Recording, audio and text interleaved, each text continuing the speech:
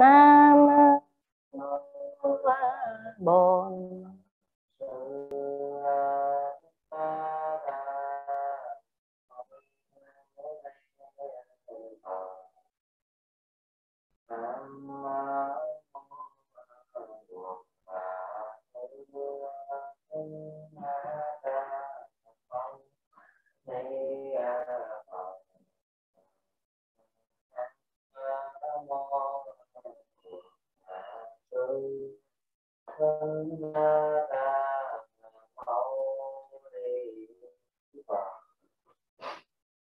Mô Phật xin ờ, kính chào toàn thể tăng uh, quý tăng ni trong cái uh, khóa 16. Dạ. Chúng ta đang theo dõi cái môn học à, uh, dẫn nhập triết học phương Tây. Và như giáo sư đã nói nhiều lần uh, với lớp, đây là những cái giờ cuối cùng đối với cái môn học dẫn nhập triết phương Tây đối với bản thân con. Chắc cũng là sau này thì con chỉ dạy những môn chính thôi. Còn những môn này chúng ta sẽ được học với các giảng viên ở Đại học Nhân văn hoặc là Đại học Quốc gia Hà Nội. Thì ờ, họ cũng sẽ có những cái rất là hay nếu được chia sẻ về làm sao để nổi bật cái giá trị của lời Phật dạy mà thông qua cuộc đời của các nhà minh triết phương Tây. Mà nếu họ được tiếp cận và truyền đạt những điều đó thì cũng có lợi cho cá nhân của họ và của tập thể tăng ni sinh và thật sự là khóa 16 là coi như những giờ dạy cuối cùng của môn học này. À, đối với con thì con cũng mong là lớp chúng ta nắm nắm được cái hành trình dẫn nhập của triết học phương Tây đi từ lộ trình triết học Hy Lạp La Mã cổ đại rồi một ngàn năm đêm trường trung cổ 200 năm phục hưng 200 năm triết học cận đại bây giờ chúng ta đang học về triết học cổ điển Đức chỉ có bấy nhiêu thôi, năm giai đoạn. Có năm giai đoạn đó thôi. Nhắc đi nhắc lại, để mai sau này chúng ta không còn gặp nhau cái môn này nữa, chúng ta vẫn nhớ năm giai đoạn triết học phương tây. Philosophy là tình yêu trí tuệ. Tình yêu, sự thông thái, tình yêu minh triết. Cho nên, mỗi một con người ở trong cuộc đời này đều có tình yêu đối với sự minh triết, đối với trí tuệ cho nên, những cái điều căn bản đó thì chúng ta cần phải nắm nắm để làm gì? Để biết cái hành trình của triết tây đi qua những giai đoạn đó. Mà mỗi một giai đoạn nó có đặc điểm gì là mình lập tức nó hiện, xuất hiện trong đầu mình. Mà con phải nhắc đi nhắc lại là con bắt chiếc cách dạy của đức phật trong kinh pali. Một đoạn đó lặp đi lặp lại để rồi có một cái dấu ấn. Lặp đi và lặp lại mà ta triết học phương tây là những cái giai đoạn rõ rệt. Giai đoạn này nó có đặc điểm gì? Cái đoạn kia có đặc điểm gì? Thì đều phải nắm thôi. Chứ bây giờ nhiều khi lúc đó quý thầy quý sư cô thì sẽ không thể nào mà nhớ hết tên tuổi từng triết gia. Nhưng mà mình sẽ nhớ được những cái căn bản để biết cái lộ trình của, của phương tây thì cũng là gì? Là là là một phần lớn của thế giới. Thì mình sẽ hiểu được họ đi qua những cái lộ trình tư duy triết học như thế nào. Giờ sau thì chúng ta sẽ so sánh cả một cái nền minh triết đông và tây. Nó liên quan tới nền văn minh của một đất nước, tới tư duy trí tuệ của cả một cái lãnh thổ vùng miền rất lớn là đông tây mà giáo trình thì không có những cái phần này. Giúp cho lớp chúng ta có cái nhìn tổng quan. Để sau này mình đọc sách, cầm một cuốn sách. Minh triết phương đông, mình cầm một cuốn sách của khổng tử lão tử là mình biết họ trong giai đoạn nào. Quan niệm của họ là cái gì? Mình cầm cuốn sách. Về phương tây là mình sẽ biết nó nói gì, nó cũng đi trong những cái giai đoạn lịch sử mà mình đã học. Nếu cận lại là mình sẽ biết nó liên quan tới khoa học kỹ thuật. Đến sự phát minh của loài người. Đến sự nhìn nhận từ lý trí, phải chứng minh được, phải rờ mó, cầm, nắm được. Là duy lý. Rồi mình sẽ xem lại coi coi có phải Phật giáo là duy tâm không? Mình phải hiểu những cái điều đó. Nó là thuộc về phạm trù của triết học khi mình cứ mờ mờ mờ mờ mãi. Rồi đến khi người ta hỏi thì mình lại nói sai. Các vị phải biết nha, mấy cha trong nhà thờ Kitô giáo, khi trước khi làm cha, họ đã phải trải qua giai đoạn phổ thông giống như chúng ta. Rồi sau đó, trong các môn học, họ phải học các tôn giáo.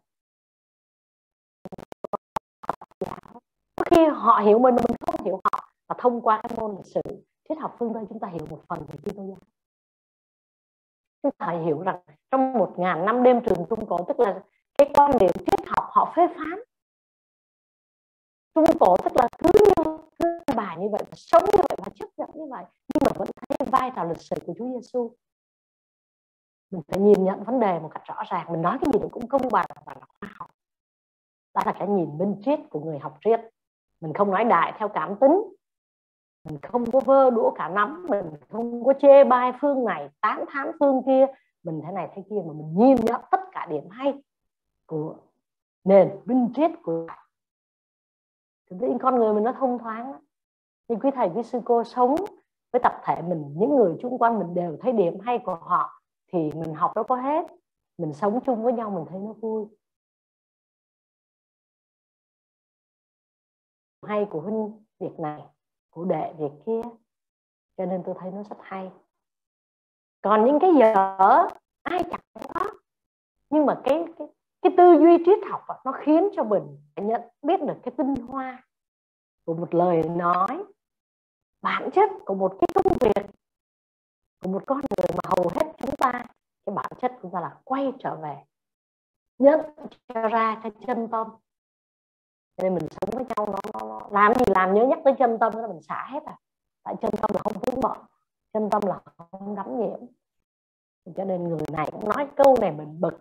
Người kia ích kỷ người nọ làm biết người nọ là tham lam. Nhưng mà thật sự nó không phải là chân tâm nó là tập khí. Thế là mình kịp thời nhớ ra cái điều quan trọng đó. Thì rồi mọi thứ nó, nó không có cái gì gọi là là là là gây vướng mắt cho mình. Cách cách tư duy, cách tháo gỡ tự thân những cái cái điều này nó sẽ được sâu sắc hơn khi mà chúng ta tiếp cận với một môn học, gọi là Phật giáo và trị liệu. Trị liệu cho mình, giúp đỡ cho người. Có một đời sống an vui, hạnh phúc. Nhưng con người có cái nền tảng triết học. Triết học Ấn Độ, triết học Đông Tây. Tự nhiên mình tiếp cận những cái môn học đấy một khác khác thì nó sẽ hay hơn rất nhiều. Nó không giống nhau đâu khác nhau xa lắm. Cho nên, chúng ta trong cái đoạn triết học cổ điển đức thì hãy nhớ sau cái phần này con gửi giáo trình, giáo án, giáo bài, gửi cái cái tài liệu cho quý thầy. Classic classic là chuẩn mực là khuôn mẫu. Mà vốn classic là cổ điển rồi chứ thật sự là chuẩn mực. Chúng ta biểu thị cái nhìn đối với di sản văn hóa La Hy Lạp La Mã như một giá trị mẫu mực. Thì cái, cái triết học giai đoạn này họ quay trở về Hy Lạp La Mã như một di sản vĩ đại. Mẫu mực phải tôn vinh phải học tập nhưng mà học tập một cách rất là mới. Như vừa rồi chúng ta học về can. Triết gia can, nói tới cổ điển đức các vị nhớ chữ can. Tôi là ai? Tôi cần phải làm gì? Tôi có thể ước mơ, hy vọng điều gì? Rất là bạn, rất là nhân bản nhiều khi mình không nhớ mình đang là ai, mình đang cần phải làm gì mình quên luôn, mình chỉ sống theo gì? Là trào lưu theo số đông. Và ai kéo tới đâu thì mình đi lệch tới đó giống như một cái xe bò ép cho nên, tại sao học cái môn thuyết phương tây con hay nhắc những câu nói thời gian? Những câu nói đó mang cả một cái giá trị. Minh triết của các vị, thông thái và thậm chí đôi khi con dùng cái từ họ cũng là thánh nhân nhưng can là cả đời đâu có vợ con. Đó, sống chuẩn mực nhìn ông là biết cái đồng hồ. Đó. bước ra nhà là 4 giờ bước về 5 giờ ví dụ như vậy. Và cuộc đời không có vướng bận trong những chuyện tình cảm. Cá nhân như vậy là ông đã gieo một cái nhân thì sống vì cái gì của đại thể người đời thì bảo là ế ế ờ, vợ ế vợ ế chồng. Nhưng mà thật sự đó là một cái con người đã gieo cái nhân như thế nào không vướng bận nha các vị. Với nhân rất lớn, một người xuất gia như vậy, từ muôn kiếp, trong quá khứ đã từng đắp cầu bồi lộ, lo lắng cho chúng sanh, nay mới được xuất gia tu hành. Các nhà minh triết họ phải có những cái cuộc sống rất là tuyệt vời. Ở trong quá khứ để nay họ mới có thể làm được những cái điều mà chúng ta thấy rằng là nhìn lại nó là di sản văn hóa văn minh của nhân loại. Đó. Cho nên khi chúng ta à, tiếp cận cái nền minh triết phương tây thì các vị hãy lưu tâm những cái cái tư duy mà đặc biệt là hướng đến con người, nhà nước. Còn hầu hết họ đều là các bác học, nhà toán học, nhà vật lý học, đều là những nhà thông thái. Nhưng mà chúng ta xem coi họ suy nghĩ gì về con người, họ suy nghĩ gì về nhà nước, họ suy nghĩ gì về cái phúc lợi cho toàn nhân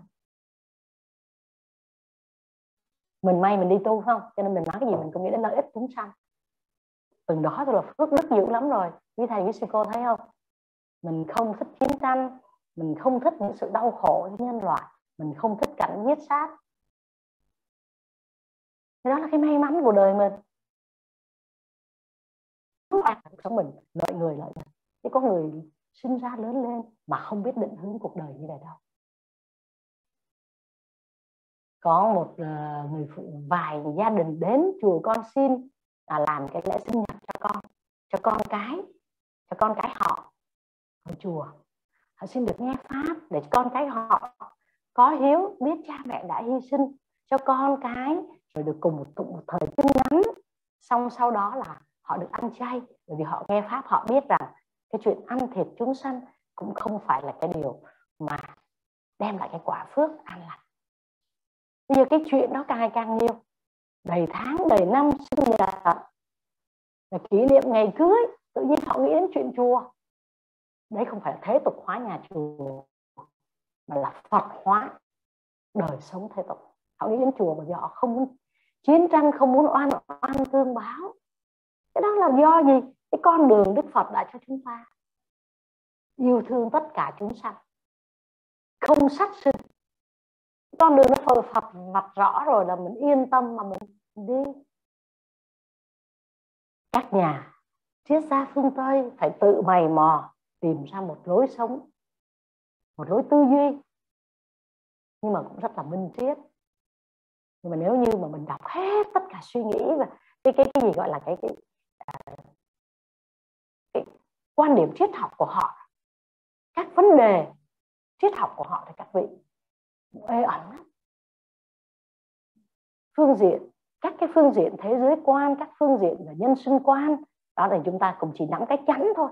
Đối với họ, cái quan niệm chính là cái gì? Rồi phương pháp triết học của họ, phương pháp tư duy là cái gì? Là bằng thí nghiệm? Hay là bằng các cái lối tư duy, con nhện, con ong, con kiến? Họ có những cái cách tư duy thì mình học những cái chắn thôi.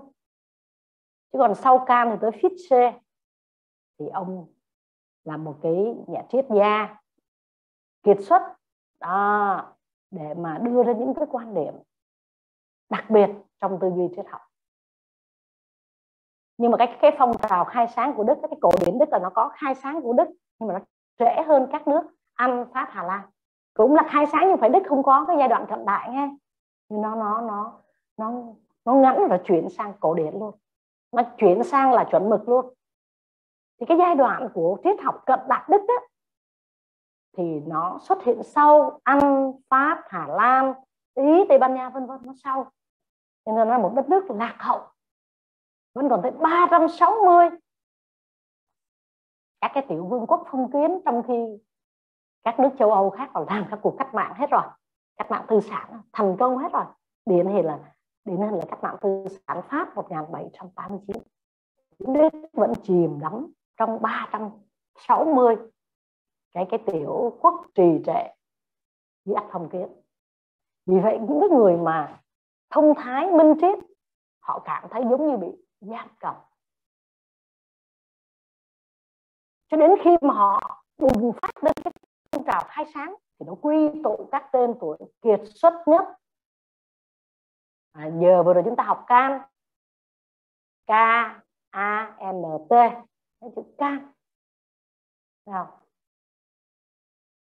Kiệt xuất trong các lĩnh vực triết lý văn chương. Coi như là văn chương của các vị đó là coi như tuyệt vời. Chuẩn mực xuất sắc rồi giỏi về khoa học nghệ thuật. À, thì lúc đó là cái giai đoạn đó là nó hoàn thiện nhiều thứ rồi. Nó hoàn thiện về tư duy về chữ về chữ viết về khoa học đó nó đến đỉnh cao rồi đó. như cuộc đời chúng ta là đi qua học sơ cấp ờ, trung cấp nè và học viện. Cũng có người học xong cấp 3 một cái đại học nào nó mới đi tu, thì chúng ta lại hoàn thiện cái giai đoạn cuộc đời của mình nó một cái kiểu khác. Và chúng ta bước vào học viện.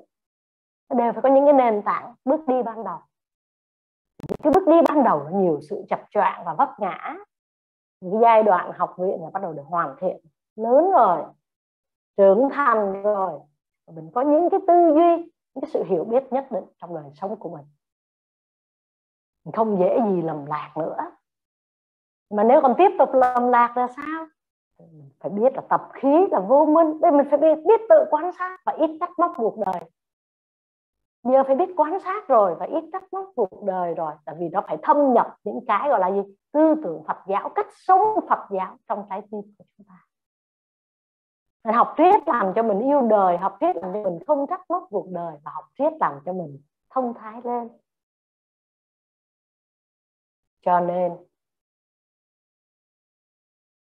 xây dựng, từ những cái tên tuổi kiệt xuất đó, nó xây dựng lên ba cái nội dung lớn là nền văn hóa dân tộc cho nước Đức. Phải đấu tranh vì tự do, công bằng, xã hội, chống đi những cái chuyện thần quyền ngu dân và chúng ta phải ghi cái điều đầu tiên của các triết gia Đức. Thứ nhất, quy tụ các tên tuổi kiệt xuất về các lĩnh vực triết lý, khoa học, văn chương, nghệ thuật. Các vị phải viết những cái điểm chính để mình làm bài không bị lạc đề. Còn tư liệu nó nhiều, rồi viết nguyên si đó mà nộp lên là điểm kém lắm. Ngắn gọn.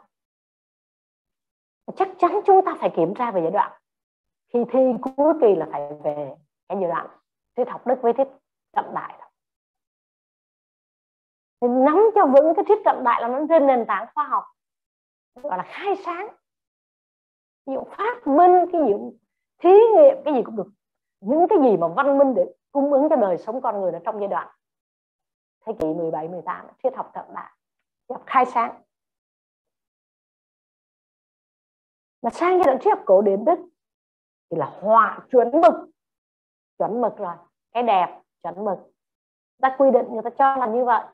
À là chuẩn mực theo cái nhìn của thuyết phương tây.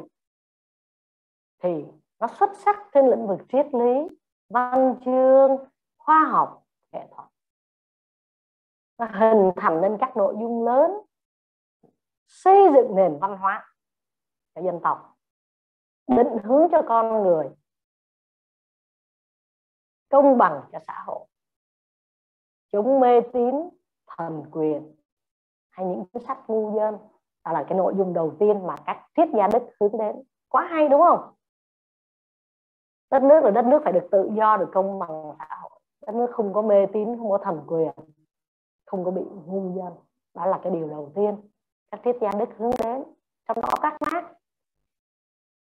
Thứ hai, phổ biến tri thức, khai mở trí tuệ thứ hai, phổ biến tri thức, khai mở trí tuệ người ta sẽ hỏi quý thầy tại sao cái giai đoạn này là giai đoạn chuẩn mực của thuyết phương thôi mình phải biết trả lời. Chỉ có ai bảo thầy thầy nói cho tôi nghe cuộc đời của can coi. Ta cũng không đi mày mò hỏi mình cái chuyện đó đâu? Mở sách ra biết cuộc đời ông can như thế nào. Mình có biết là câu chuyện của ông thì cũng thú vị. Nhưng mà tại sao nó là một nền triết học chuẩn mực?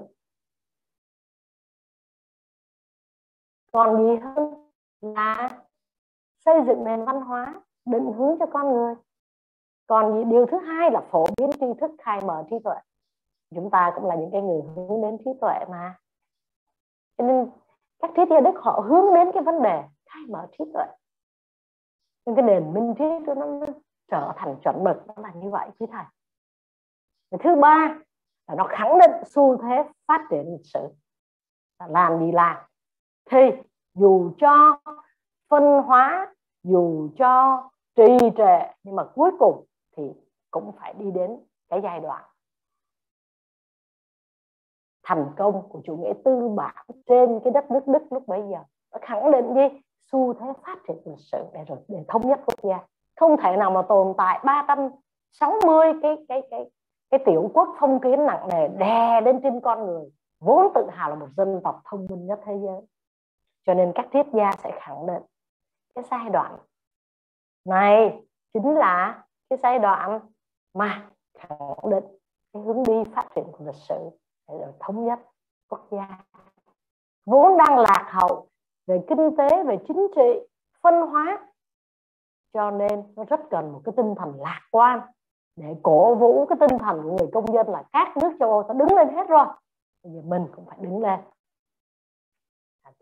là cái cái tinh thần rất quan trọng nhà Phật gọi là tâm dẫn đầu các pháp. Nếu quý thầy với sư cô vô lớp có tinh thần lạc quan thì học cái gì cũng hay hết.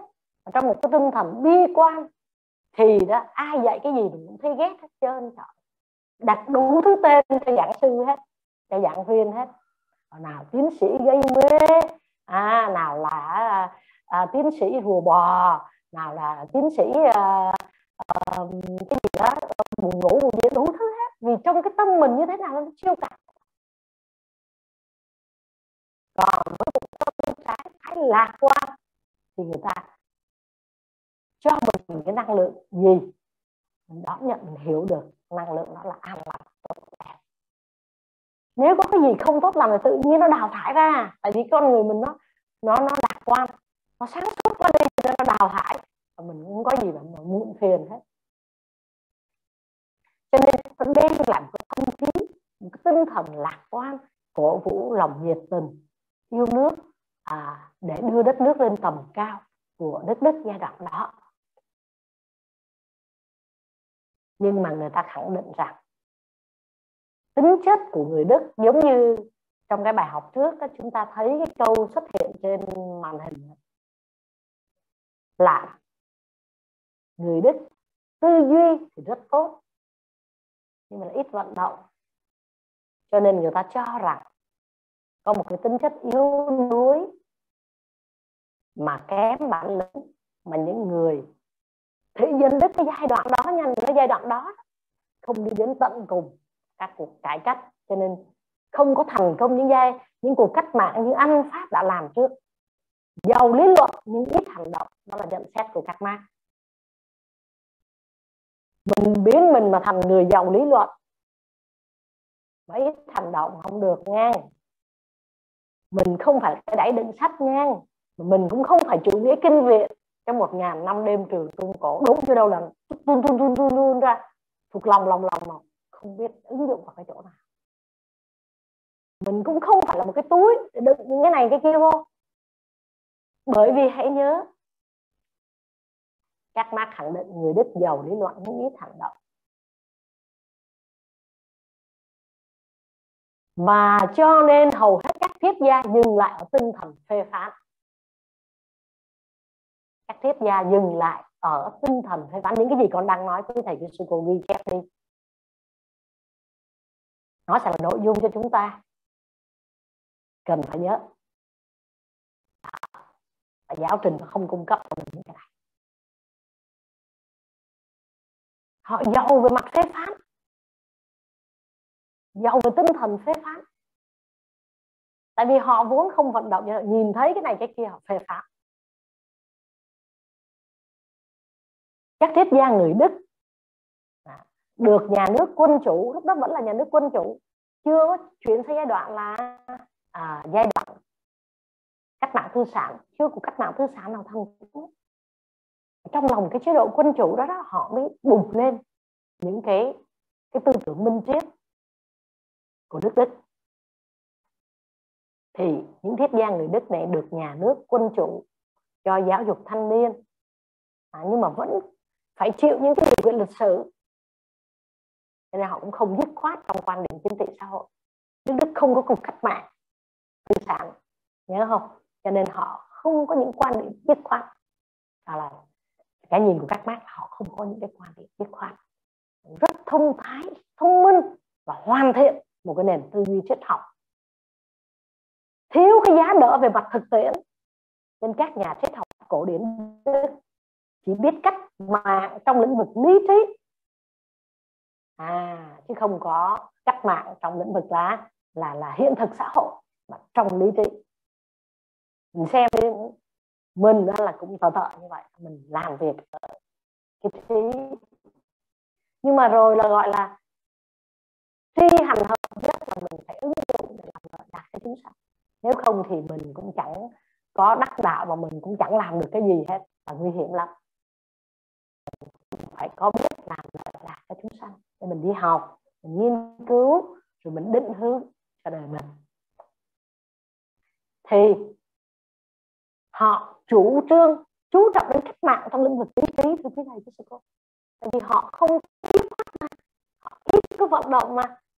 Nhưng mà do sinh sau đẻ muộn, cho nên rất nhiều thuận lợi. Nó có sẵn cái nền rồi, sinh sau đẻ muộn, nhiều thuận lợi.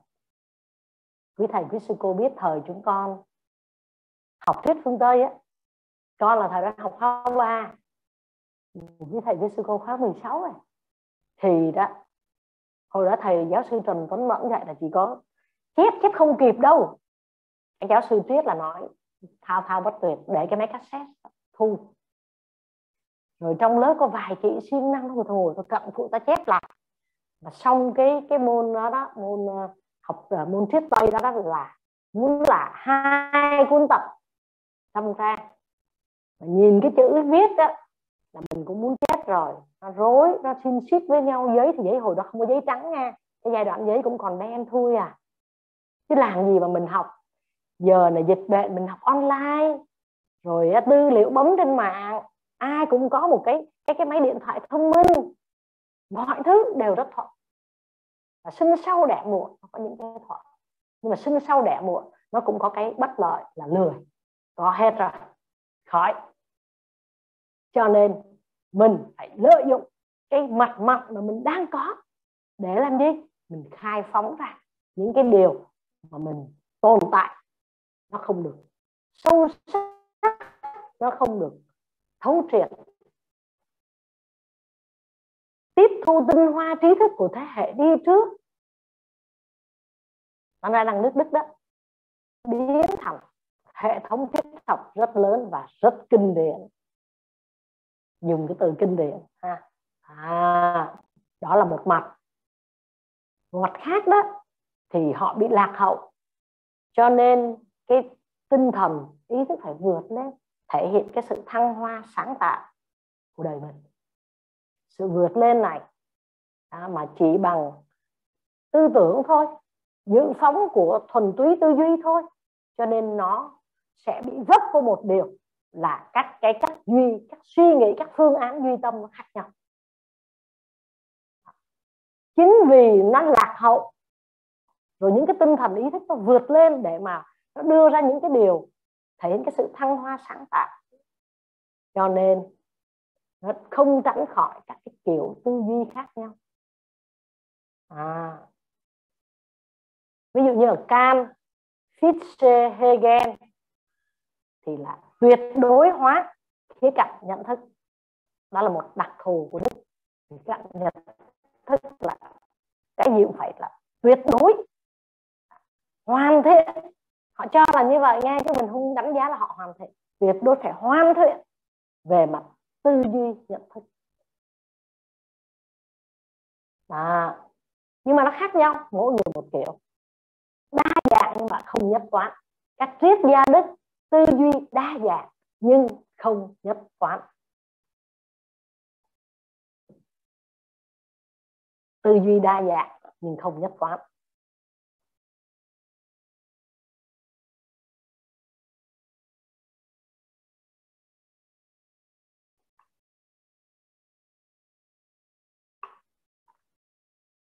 Phần lớn các nhà triết học đức không có thiện cảm với chủ nghĩa duy vật của những giai đoạn trước nhất là giai đoạn cận đại máy móc siêu hình hay là ở Pháp có chủ nghĩa duy vật vô thần thế kỷ 18 mình mình nghe cho biết thì nói tới phương Tây là duy vật duy tâm. Vậy chứ mà mình học à, uh, chứ học Phật giáo đó mình đâu có tiếp cận với cái từ duy vật duy tâm thế thấy Đức Phật dạy cho chúng ta tuyệt vời lắm.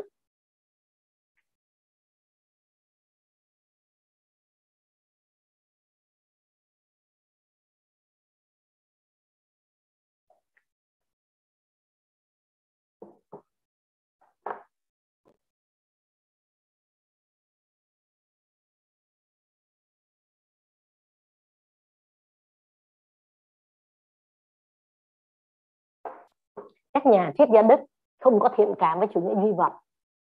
Họ không ưa cái kiểu chủ nghĩa duy vật máy móc siêu hình.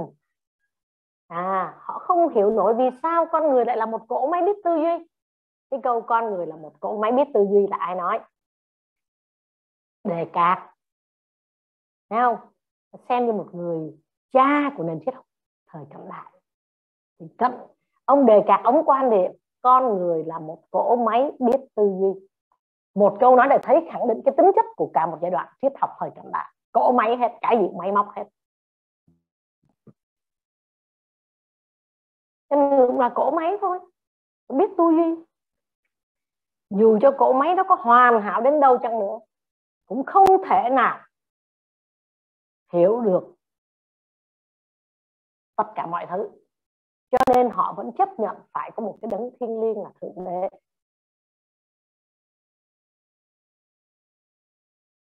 Họ vẫn thấy không thể loại trừ được. Tại vì có những vấn đề, nếu mà tất cả là cơ học thì có nhiều thứ không giải thích được, thì ai giải thích? Ai hiểu? Thượng đế. Mà chúng ta đừng cho cái này là ông trị nghe họ phải quy định như vậy. Cũng như bản thân chúng ta vô số vấn đề chúng ta không có lý giải được. Mình đừng có kết luận cái cái cái chữ thượng đế là cái gì, mình đừng kết luận cái cái tâm linh là cái mê tín. Vô số những vấn đề chúng ta không có giải, lý giải được đâu còn nếu mình ép nó vô khoa học hay là thiên tưởng, cuộc sống này là mình phải suy tư. Mình không nên ghép nó vô thành khoa học. Ghép hết thành tâm linh là mê tín. Cho nên đó họ có những việc không thể hiểu nổi. Cho nên họ vẫn phải chấp nhận một cái gì đó thiên liêng trong đời sống con người. Họ gọi các nhà duy vật trong cái thời cận đại, đó là giáo điều mà thiệt cái thời cận đại là máy móc hết trơn trọi luôn mà. Cơ khí cơ khí hóa phòng thí nghiệm à, máy móc. Cho nên các nhà triết học đức á, đã gọi các nhà duy Phật thời trước là giáo điều. Rồi một số nhà triết gia như Fisher Schelling Fisher Fisher F I C H T E fit Fitche Fitche Fitche và là theo tiếng Pháp, f F, I, C, là G đó. H rồi T E Fister hay shelling là S S, C, H E L L. In selling hai triết gia này thừa nhận quan điểm hai chân lý. Chứ không tuyệt đối là khoa học mà không không tuyệt đối là duy tâm những cái ông triết gia ông thừa nhận quan điểm hai chân lý mà nó rất là vốn phổ biến trong văn hóa phục hưng cũng là hai chân lý mới tồn tại được đó. Phục hưng là vừa, những ông triết gia như Bacon vừa đi nhà thờ, vừa là tín đồ rất là trung thành nhưng một mặt ông là một nhà khoa học. Chân, gọi là cái cách quan điểm, hai chân lý, cả hai luôn. Những quan niệm về tôn giáo, về tín ngưỡng, về lý giải, về thượng đế, vân vân, nó phù hợp với người đức hơn. Chứ nó không có tuyệt đối là cận đại khoa học giống như là thời 200 năm thời cận đại của mấy ông đề cà à, của mấy cái vị à, là là là là à, chúng ta đã tiếp cận à, Bacon à, đề cà rồi là John Locke vân vân. Thì chỉ là tuyệt đối là khoa học. Nhưng cái giai đoạn các triết gia đức thì họ phù hợp cái tinh thần à, là duy tâm là nhiều hơn duy lý hóa. Tức là cái niềm duy lý hóa niềm tin họ không tuyệt đối chỉ là duy lý. Đối với cái triết học cận đại, tất cả phải được cầm, nắm, sờ, ngó, thấy. Tôi tư duy tức tôi tồn tại. Tôi đang tư duy, tôi đang nhìn thấy thì đang có tôi. Tôi tư duy tức là tôi tồn tại. Câu nói thời gian của đề cả nhưng các triết gia đức thì tuy là loại dần Hegel đó là loại dần ảnh hưởng của thần học ra khỏi triết học, nhưng lại tạo ra một cái thần học mới. Chẳng hạn như là ví dụ như là tôn giáo của tình yêu. À họ tạo ra một cái cái thần học mới như tôn giáo của tình yêu chẳng hạn. Và can thì vẫn phải dựa vào thượng đế để mà giải quyết những điều không thể lý giải được. Tức là cái giai đoạn triết học này nó có mang cái cái tâm linh và cái tình người nó nhiều hơn rất nhiều hơn so với giai đoạn triết học cận đại mà cái gì nó có tâm linh, nó có tình người, nó chinh phục mình dễ hơn. Bây giờ mình ngồi mình nói chuyện các nhà khoa học, tôi đâu cần mời sư đến đây, sư làm sao nói chuyện bằng các nhà bác học được. Nên sư quá giỏi về mặt khoa học, tôi cũng không phải là cần. Tôi cần sư hóa giải nỗi khổ niềm đau cho tôi. Thì nếu như mình không có tâm linh, nếu mình không có tình thương, mình đâu có làm được. Cho nên triết học của Phật giáo là trí tuệ và tình yêu thương nó trở thành là tại sao mà nhà vật lý học à, nổi tiếng nhất đã tuyên bố là nếu có một cái tôn giáo mà thích hợp cho nhân loại trong cái giai đoạn hiện tại, thì đó chỉ có thể là đạo Phật. Nhà triết gia nào? Nhà vật lý học nào tuyên bố cái điều đó? Hả? Chúng ta hay thấy cái hình của cái vị uh, triết gia à, phải không nào? Nhà vật lý học ai ạ? À? chưa nghe rõ Einstein Einstein rồi Einstein dạ đúng rồi Einstein nhà vật lý học hiện đại khẳng định điều đó bởi vì sao? Trong đó có tình yêu nó có trí tuệ. Mà không có thiên hết một cái về khoa học. Mà nếu mà mình là một tu sĩ Phật giáo, mà mình chỉ nói là cái gì khoa học, cái gì khoa học thì mình mất hết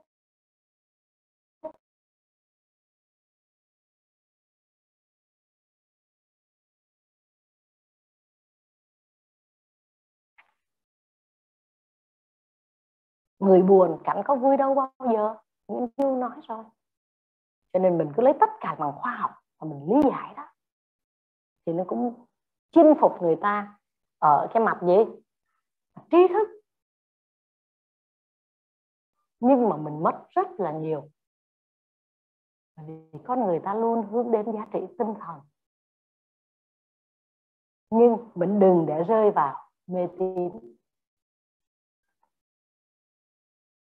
Như vậy trong việc tìm hiểu và lý giải nội dung bản thể luận nhận thức luận nhân sinh quan à, của cái cái cái, cái triết học đức đó thì Cam hay nói vật tự nó Cam đã có quan điểm vật tự nó. Tức là cái sự thống nhất chi phối của những cái tôi. Lúc nào cũng có những cái vấn đề duy tâm, duy ngã, rồi những cái tuyệt đối của thượng đế, ý niệm của Hegel, vân vân. Thì trong từng thuyết gia con sẽ giúp cho lớp chúng ta đưa ra vài ý kiến nhận định. Then chốt thôi. Chứ một vị thuyết gia như vậy đó là cả sách về quan điểm triết học mệt mình chỉ đưa những cái chăn mà cái chính của cái tinh thần, triết học đức là sự phê phán. Đối với các bậc tiền bối tinh thần tranh đấu quyết liệt trong cái phạm vi triết học. Triết học xét chuẩn mực đức là làm phong phú và phát triển tư duy tư duy triết học nửa đầu thế kỷ 19 đầu thế kỷ 20 bắt đầu đi vào trong cái sự gì duy, tư duy, lý luận hoàn thiện, rồi phê phán. Muốn phê phán phải có cơ sở, phải nhìn thấy cái đó hay cái gì, không hay cái gì, để phân tích, chứng minh theo cách nghĩ của phương tây. Cho nên nó làm phong phú lên. Cái hệ tư duy của triết học nửa đầu thế kỷ 19 nhưng mà chúng ta thấy phê phán lẫn nhau chưa thể dẫn đến những sự thay đổi triệt để. Về thế giới quan, ao, rồi là là là những trong các quan điểm. Cho nên, đối với phơ bách, trong giai đoạn triết học đức thì ông lại phục hồi cái chủ nghĩa duy vật về quan niệm tự nhiên, tức là trong các triết gia đức cũng có ông phơ bách là ông lại phục hồi lại. À, những cái quan điểm duy vật quan điểm tự nhiên. Nhưng mà nhân danh là thuyết nhân bản. Tức là ông muốn nói cái vấn đề là không thể là tất cả gì trong cái cái cái cái cái duy lý cái, cái, trong cái suy tư à, trong cái vấn đề các cái phương pháp luận tư duy mà nó phải cần đến chủ nghĩa duy vật về quan niệm tự nhiên như trong những giai đoạn trước, nhưng mà không thể chinh phục được, cho nên phải dùng. Lấy cái nhân danh là thuyết nhân bản, nói những vấn đề đó.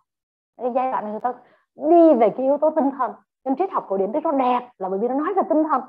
Thì chúng ta con chỉ nói những cái vấn đề then chốt thôi. Còn tài liệu là có hết. Ông triết gia này, cuộc đời sao như thế nào thế nào? Có hết. Mà tại sao mà nó là chuẩn mực? Mà sao người ta lại ca ngợi cái nền triết học của điển đức thì bởi vì là nó nói về yếu tố tinh thần. Và phơ bách cũng như các triết nhà triết học triết gia trước đó, đó không thừa nhận chủ nghĩa duy vật. À, do những cái khiếm khuyết của nó do những cái khiếm khuyết của cái cái cái cái, cái chủ nghĩa duy, duy vật. Cho nên họ phải dùng cái danh từ là là là thuyết nhân bản. Chứ bây giờ nói hẳn cái chủ nghĩa duy vật trong cái giai đoạn cận đại là tất cả là phải vật chất để mà khẳng định mọi thứ.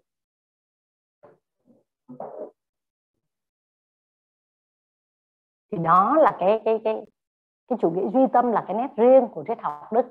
Chủ nghĩa duy tâm và là phê phán, đó là hai vấn đề căn bản nha. Như thầy Jessica nhớ cho con, cái giai đoạn triết học cổ điển đức là chủ nghĩa duy tâm là nét riêng của triết học đức và đồng thời là phê phán đồng thời trong giai đoạn triết học đức này có bàn đến một cái vấn đề rất là, là nổi tiếng rất là uyên bác sâu sắc đó là biện chứng mà người ta dùng chữ biện chứng đức nói tới các mát là ta nói biện chứng à.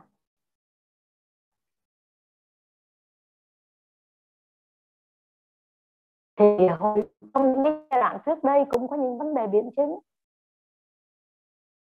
Nhưng mà cái hình thức lịch sử thứ hai của phép biện chứng đó, là thể hiện sinh động cái tinh thần của thầy.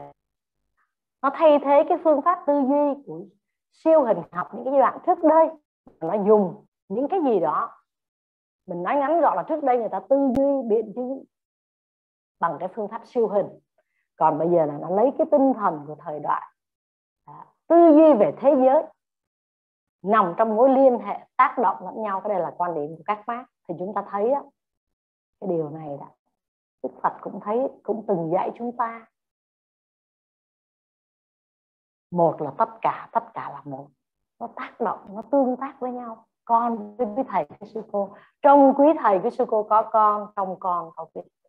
Thế giới này không có cái gì bằng một không có vừa một vật nó làm gì hết duyên nhưng mà cái, cái, cái cách lý luận của các mác là gì? Cách nói nó như thế nào? Nó khác. Là thế giới này là một quá trình nằm trong mối liên hệ tác động lẫn nhau.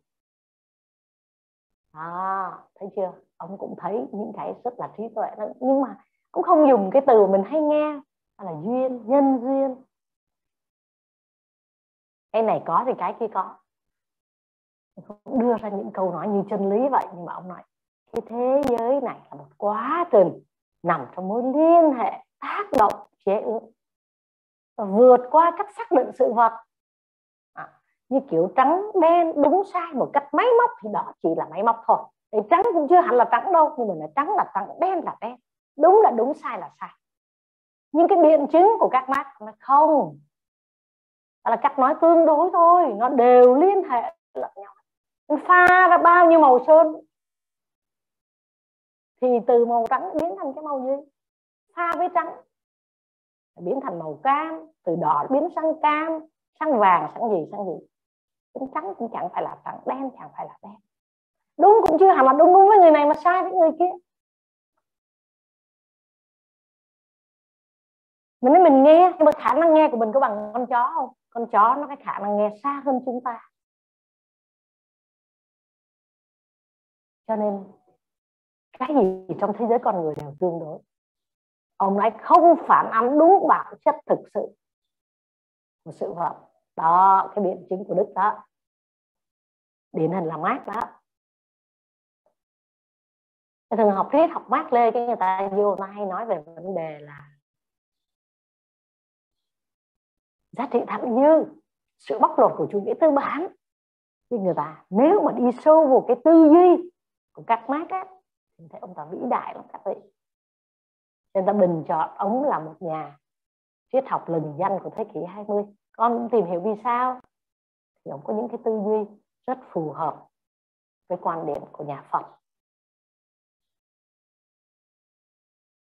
Và ông đưa ra cái chủ nghĩa xã hội làm theo năng lực, hưởng theo nhu cầu.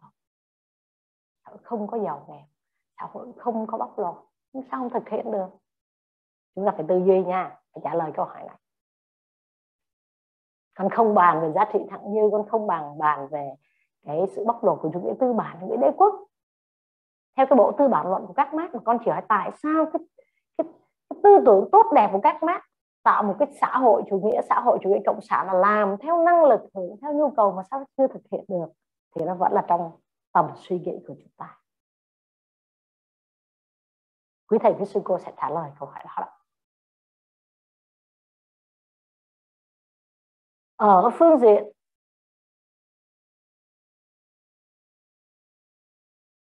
Chính trị xã hội có thể hình dung nước Đức là giai đoạn tiếp theo của chủ nghĩa tư bản đang hình thành sau giai đoạn Hà Lan, Anh, Pháp. Thời đại tư bản là thời đại biện chứng nhất từ trước tới giờ cho đến lúc đó. Cái thời đại tư bản là giai đoạn biện chứng. Nó chủ nghĩa tư bản không thể tồn tại bình thường nếu nó không gây nên những biến đổi trong các lĩnh vực của đời sống, cải tiến công cụ lao động, tổ chức nền sản xuất, rồi thỏa mãn nhu cầu xã hội. Chủ nghĩa tư bản, các thầy các cô phải biết, chủ nghĩa tư bản không thể tồn tại một cách bình thường nếu không gây nên những biến đổi thường xuyên nếu không gây nên những biến đổi thường xuyên trong các lĩnh vực của đời sống. Trong cải tiến công cụ lao động.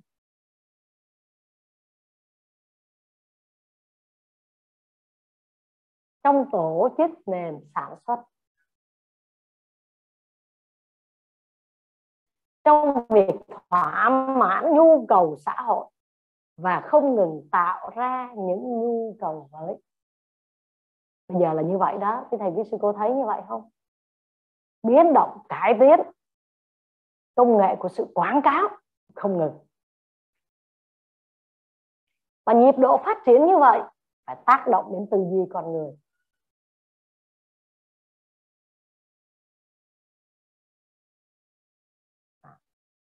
Cho nên ngoài cái việc sinh sâu đẻ muộn so với các nước Anh, Pháp, Đức, Hà Lan của châu Âu thì do cái chất liệu tư tưởng vô giá của người Đức mà các triết gia Đức đã gì? Bùng nổ lên một cuộc cách mạng về lý trí muốn cải tổ tư duy và không trì hoãn trong một cái nước Đức lạc hậu như vậy. Cho nên chính các cái vị thông thái triết gia của nước Đức đã bùng nổ, cải tổ tư duy. Mà chúng ta thấy cái triết gia của một nhóm thôi, thấy không? Mà cải tổ được, thay đổi được nước Đức. Như vậy là rõ ràng là tâm làm chủ các pháp, chứ đâu phải là một cái lực lượng hùng hậu đâu. Chỉ trong quan điểm tư duy trí tuệ của một số triết gia mà làm thay đổi nước Đức chưa phải thể hiện một cuộc cách mạng nào hết. Cái thôi thúc đó, cách mạng trên lĩnh vực lý trí đó thôi, trong logic nội tại của từng con người thôi. Cũng có nghĩa là phế bỏ đi những cái không còn phù hợp. Mà mở đầu là can. Thì giờ trước chúng ta đã học về ông mở đầu là can.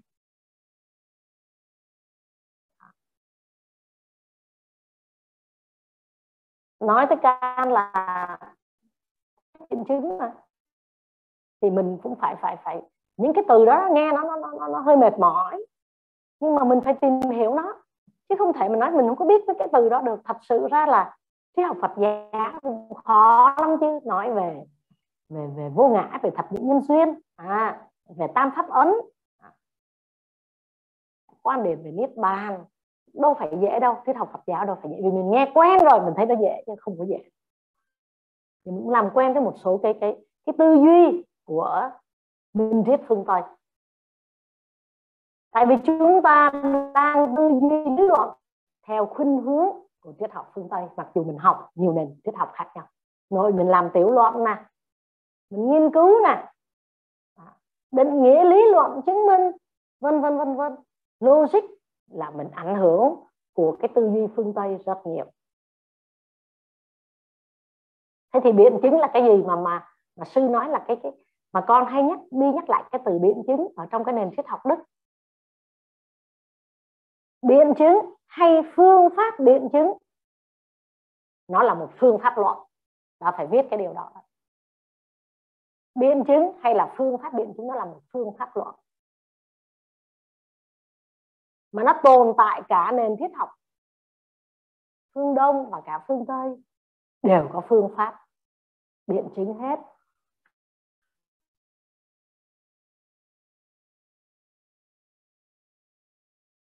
Gốc từ là cổ là một phương pháp, một phương pháp luận.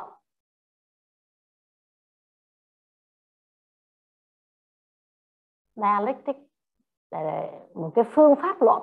Nó có nguồn gốc ở trong tiếng Hy Lạp cổ, nhưng mà ở phương Tây, phương Đông đều có những cái phương pháp biện chứng hay gọi là phép biện chứng. Mà nó trở nên phổ biến.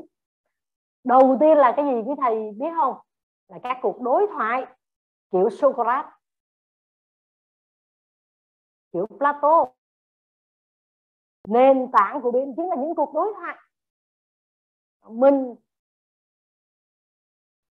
các Buddhist monk, Buddhist nun, tu sĩ Phật giáo nói chuyện đều có biện chứng hết á những thuyết pháp thế đó có một cái sức sống trong cái lời nói của mình nó phải có những, những sử dụng những cái biện chứng. Không phải ngồi đọc nguyên bài rồi ờ, ờ, ờ, cái rồi là thôi rồi đó. đó. Cái biện chứng làm cho nó trở nên hùng biện nhưng mà nó lại khác với hùng biện. Biện chứng nó có nền tảng từ một cuộc đối thoại giữa hai người hay là nhiều người với những cái ý kiến tư tưởng khác nhau. Thì chúng ta ngồi với nhau và bắt đầu mình đưa ra một cái đề tài thì là cùng mong muốn thuyết phục. Bây giờ con với quý thầy, quý sư cô đang ngồi để mà nói chuyện với một nhóm ở phía dưới là 300 Phật tử trong đó các giới trí thức, bình dân, thanh thiếu niên. Thì đều muốn thuyết phục họ nghe những điều mình nói. Thì cái phương pháp mà mình làm sao để thuyết phục được họ đó đó là biện chứng. Nó khác với hùng biện hùng biện là trong một bài diễn thuyết tương đối dài, thấy không nào? À phương pháp này nó khác với hùng biện là mình nói làm sao cho mình hùng hồn để biện luận cho cái điều của mình. Còn cái biện chứng đã đưa ra một phương pháp à được những cái người người khác ủng hộ. Thậm chí là những người phái nguy biện họ cũng phải ủng hộ mình. Bởi vì sao? Bởi vì cái tính chất chính xác và khoa học của nó. Là trường phái Socrates. Đạo Phật dùng biện chứng rất nhiều. Ở trường phái Hegel và chủ nghĩa Marx là dùng biện chứng. Vậy là những cái lý luận, lập luận nào hay dùng biện chứng? Trường phái Socrates, thời Hy Lạp La Mã cổ đại. Đạo Phật dùng biện chứng. Phương pháp mà. Đạo Hindu, đạo Ấn dùng biện chứng. Biện chứng thời Trung Cổ. Rồi là triết học cổ điển Đức thì chúng ta có thể nói như là chủ nghĩa Marx hay là Hegel là dùng những vấn đề biện chứng. Tức là sao nói rõ hơn? Tư duy con người được phát triển theo một cách thức đặc trưng, chứ không phải muốn nói gì nói. Tư duy con người phát triển một cách đặc trưng ba giai đoạn của biện chứng. Chứ phải mình cãi tới là biện chứng không phải. Lầm với nhau coi chừng mình hí luận nói cho hơn, nhiều khi dữ quá, người ta cũng thua mình, chứ không phải là mình biện chứng hùng biện gì hết trơn á. Nó có ba cái cái cái cái cách biện chứng. Một là chính đề đưa ra một cái dòng ý tưởng, một lý thuyết, hay một cái vấn đề gì đó. Thứ hai là phản đề. Nhằm phản đối lại cái đầu tiên, cũng chính mình thôi.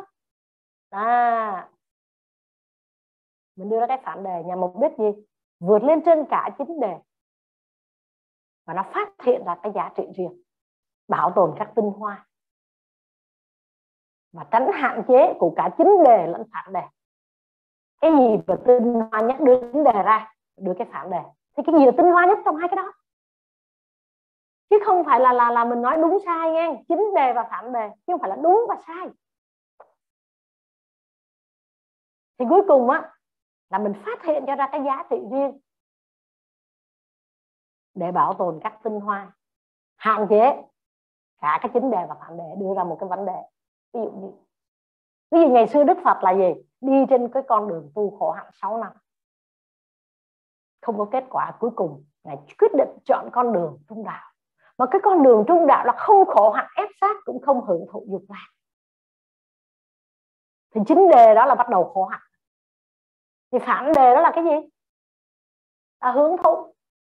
Thì đức phật lấy cái tinh hoa là đi ở con đường trung đạo. Hợp, cuối cùng bước thứ ba là hợp đề. Thứ nhất là chính đề, thứ hai phản đề thứ ba là hợp đề. Giải pháp đạt được ở bước thứ ba gọi là hợp đề. Hợp đề có thể trở lại thành bước thứ nhất. À. và hợp đề có thể là một cái vấn đề cao hơn của hai bước kia. Có thể đưa trở về cái chính đề ban đầu. Là đúng.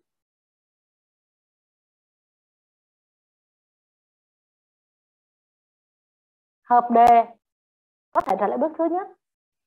Một trong ba giai đoạn của cái biến chứng là chính đề, phản đề, hợp đề. Hoặc trở nên là không đạt. Cho nên mặt đối lập lại nổi lên. Có nghĩa là hợp đề vừa đạt được. Như là một chính đề mới, vì chính đề, phản đề không ai chấp nhận hết, cho nên nó xảy ra một cái chính đề mới. Tiếp tục, chính đề mới lại có phản đề mới.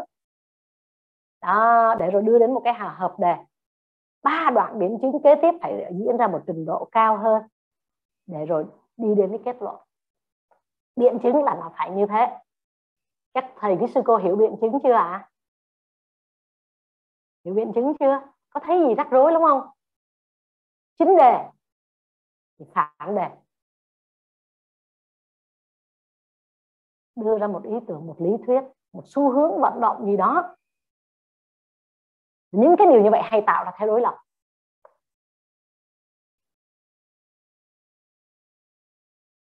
bởi vì đó là là là, là cái bản chất của mọi vật à.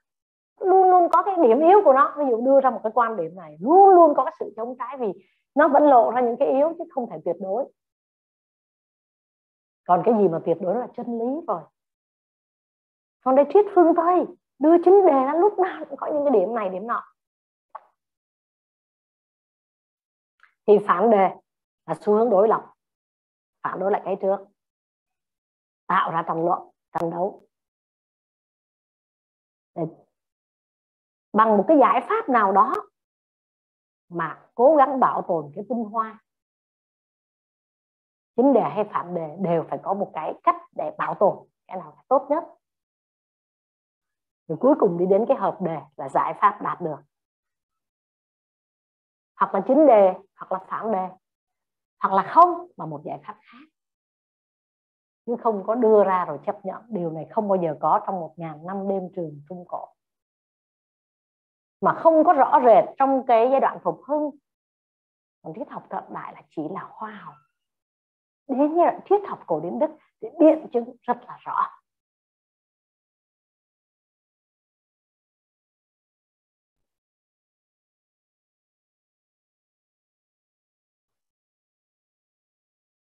Cho nên triết học phép biện chứng cổ đại là xuất hiện từ cái thời cổ đại. Nhưng mà cái thời cổ đại họ chỉ xem cái biện chứng như là cái cái trực trực giác thôi. Họ phản ứng, chứ chưa phải là kết quả của nghiên cứu thực nghiệm khoa học. Còn giai đoạn cổ điển đức cũng đi qua. Con nói cái từ sinh sau đẻ muộn. Đi qua một cái giai đoạn.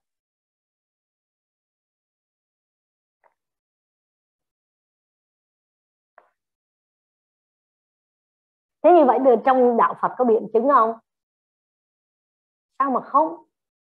Vô ngã, vô thường, nhân duyên. Trời ơi, đều là các cái vấn đề biện chứng hết. Còn các nhà triết học Hy Lạp, La Mã cổ đại đó, thì biện chứng của họ là tự phát, là bẩm sinh. Đó. rất là quan trọng trong triết học.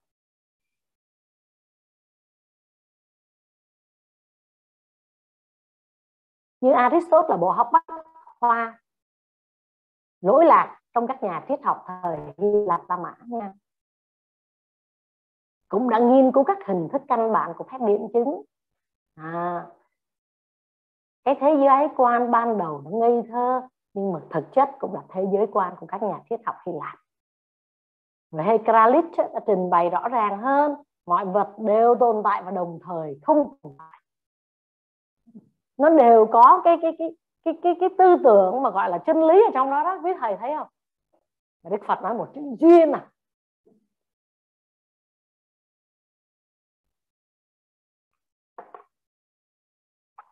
Rõ hơn là cái này có là cái kia có. Cái này không thì cái kia không. Hecaris từng nói gì? Từng nói gì? Mọi vật đều tồn tại và đồng thời lại không tồn tại vì mọi vật đang trôi đi, mọi vật không ngừng thay đổi, mọi vật không ngừng phát sinh và tiêu vong. Trời ơi, những cái cái cái quan điểm đó đâu khác gì quan điểm của đức phật đâu. Chúng ta phải tìm ra những cái điều này để thấy cái nền minh triết phương tây cũng trong mấy ngàn năm, cũng thế kỷ thứ sáu trước công nguyên cùng giai đoạn của đức phật á. Nhưng mà đến cái phép biện chứng cổ đại đó thì nó mang tính chất sơ khai. Cho nên là, là Engels là bạn các mác mới nói những cái triết học đó tư duy biện chứng đó, nó nó nó thuần chất nó tự nhiên lắm. À, nó chưa có bị là khuấy đục nó rất tự nhiên. Người ta nhìn thấy như vậy người ta trình bày như vậy. Cho nên Engels cho rằng những cái biện chứng rất đáng yêu. Nó hồn nhiên rất đáng yêu chính người Hy Lạp chưa đạt tới trình độ muốn có sẽ phân tích cái giới tự nhiên, cho nên nó quan niệm về giới tự nhiên là một chỉnh thể. Đó. mối liên hệ giữa các hiện tượng tự nhiên chưa được chứng minh chi tiết, mà chỉ là trực tiếp quan sát và họ đưa ra những vấn đề. Thật ra nó cũng rất là chân lý. Nó chưa có chứng minh của học tự nhiên nó trực giác, nó hồn hậu, nó ngây thơ và nó rất chính xác. Vì vậy, quý thầy, quý sư cô thường nghe những cái trực giác đầu tiên của mình. Nó rất hồn nhiên rất ngây thơ thì rất đúng. Và sau đó là mình hay bị gì? Cái hình thức nó đập vô, cái lời nói. Rồi cái này cái kia nó làm cho mình lệch lạc như một người phụ nữ. Trời ơi, cái người này là không tin được rồi đó nghe cái đầu tiên á nhưng mà một chập sau cô ngồi gần mình thì tự nhiên mình đã bị bẻ cong. Rồi cô tán dương mình, cô khen ngợi mình. Rồi cô tặng cho mình, rồi cô vinh danh mình. Tự nhiên mình thấy cô quá đáng yêu bởi vì mình đã bị bẻ cong lệch lạc. Mà không còn là cái, mà cái trực giác nó rất chính xác.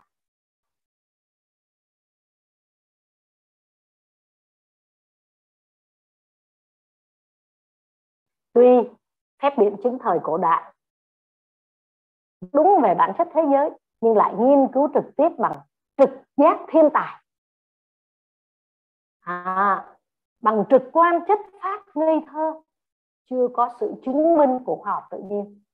Còn đức cái biện chứng họ đi qua nhiều giai đoạn nên họ cho là hoàn chỉnh là mẫu mực chứ. Mình chưa biết cái nào mẫu mực hơn cái nào hay hơn. Từ cái biện chứng đó thì có biện chứng duy vật biện chứng duy tâm. À, thì nước đức là biện chứng giai đoạn nghiên cứu của triết học đức đó, thì người ta nói là hình thức phép biện chứng của các nhà khoa học đức là can đến hegel là biện chứng duy tâm. Ý niệm đối với cái tuyệt đối ý niệm là khởi điểm của mọi sự tồn tại. Và tư duy có trước, duy tâm, cái suy nghĩ có trước. Đối với ông là ý niệm tuyệt đối. Và nói về Hegel, đó là biện chứng duy tâm mà. Thì mình làm quen những cái này để mai mốt mình nghe, mình hiểu. Ở con người. Từ cái suy nghĩ, ý niệm, có những cái biện chứng chủ quan là cơ sở của biện chứng khách quan, tức là cái gì ở trong cái đầu mình nó là nó cơ sở cho về sau nó hình thành. Nhiều nói giờ làm cái nhà thì trong đầu các vị hình thành cái nhà thì bắt đầu mới đưa ra. Kiến trúc sư phải hình thành cái bản vẽ rồi bắt đầu đưa ra tới làm.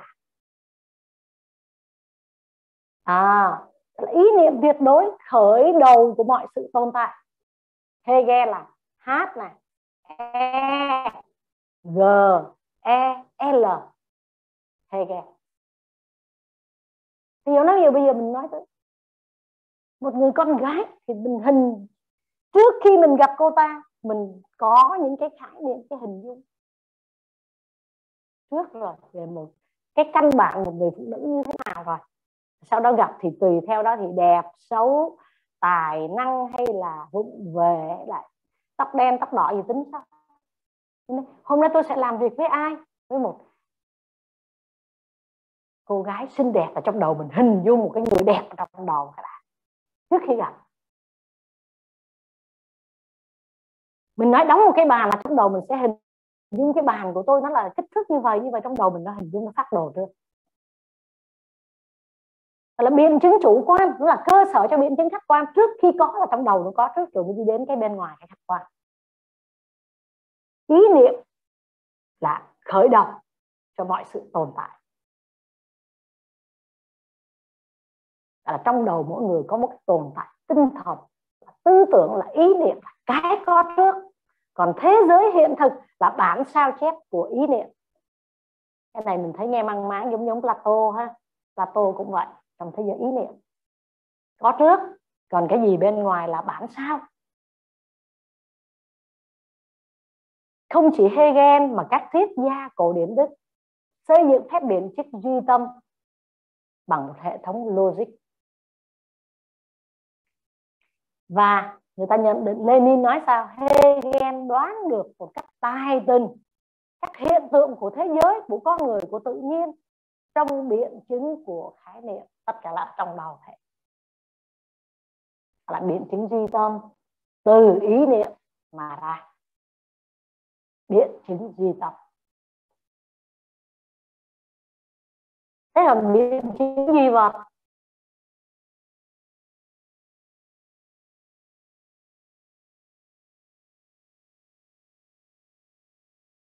biện chứng duy vật, thì Marx xây dựng nên phép biện chứng duy vật. Các Marx, M A R X, Marx, thì xây dựng nên phép biện chứng duy vật. Bằng cách xem phép biện chứng duy, phép biện chứng là khoa học về những quy luật. Biện chứng là khoa học về những quy luật chung, sự vận động của thế giới cũng như tư duy con người. Đối với các mắt ông xem, phép biện chứng là khoa học và những quy luật chung về sự vận động về thế giới và con người. Phải cái biện cái phép biện chứng mà làm nền tảng khoa học cho mọi quy luật, phải có biện chứng đi qua bài chính đề phản đề, hợp đề.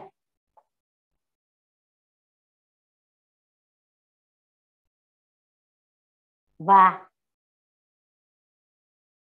Engels là bạn các mác nói, hầu như chỉ có các mác với tôi là người đã cứu phép biện chứng ra khỏi triết duy tâm đưa nó vào một quan điểm duy vật về tự nhiên và lịch sử, cứu cái triết học đức ra khỏi duy tâm đưa nó về quan niệm duy vật của tự nhiên và lịch sử có nghĩa là vật chất phải có trước trước khi có cái bàn trong đầu là mình đã thấy những cái vật chất này, vật chất kia, rồi mới hình thành. Bắt đầu mình sống với thiên nhiên từ cái thời cổ đại đó. Thấy không? Rồi khi có chữ viết thì phải kê lên một cái tảng đá, cục gỗ, cục cục gì đó. À một cái mặt bằng nào đó. Rồi mới hình dung, đưa đến làm cái bàn. Một cái để quy định nó là cái bàn. Tiếng Anh là table, tiếng Pháp table ví dụ như vậy là quy định bắt đầu nó phải có một cái vật chất, rồi bắt đầu nó mới đặt tên đưa vào trong cái não bộ của mình. Cho nên đối với các Marx thì khoa học và những quy luật chung thì nó là duy vật. Đưa cái phép biện chứng, đã cứu phép biện chứng tự giác ra khỏi cái duy tâm của đức. Và phải vào trong quan niệm duy vật để tự nhiên lịch sử. Chứ không phải ngồi trong đó mà nói cái ý niệm tuyệt đối được. Thế thì bây giờ các thuyết gia đức thì tạo duy tâm nè, duy vật nè đó duy tâm khách quan duy tâm chủ quan đủ thứ hết. Mà bây giờ con không dành thời gian giải thích mấy cái này đó thì chúng ta cũng giống như học vẹt vậy chẳng biết đó là cái gì nó nhức đầu. Thì chúng ta hiểu cái khái niệm như vậy thì có các Marx thì đưa ra quan điểm duy vật. Biện chứng. Còn các ông khác cũng trong giai đoạn triết học cầu đến đất nhưng mà duy tâm, biện chứng họ có chính đề phản đề, hợp đề ra từ đó rồi mình nói cái đức đạo phật mình duy vật hay duy tâm. Trả lời sao? Bây giờ mình cũng đâu cần biết đâu, nó, ôi, học cái này làm chi? Dính gì tới mình? Dính lắm chứ. Một là tất cả tất cả là một. Ừ cho nên nó hỗ tương lẫn nhau, nó bên nhau, nó nâng bước cho nhau.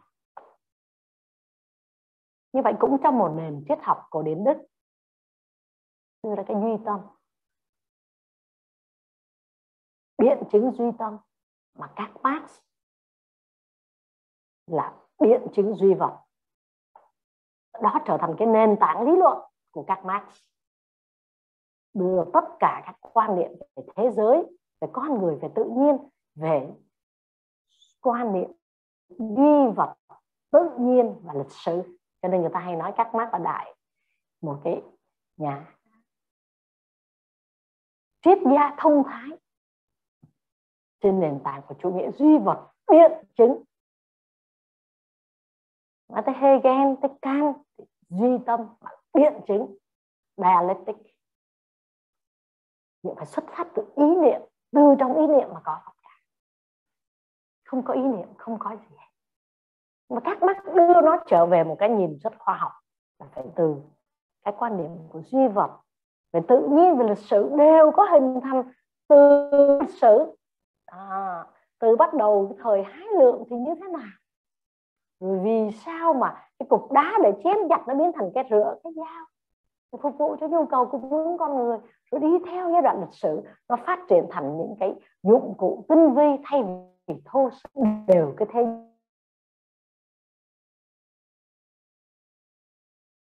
từ những cái thô sơ của những vật chất nó tác động vào trong tinh thần con người mới đưa ra thế giới hiện hữu.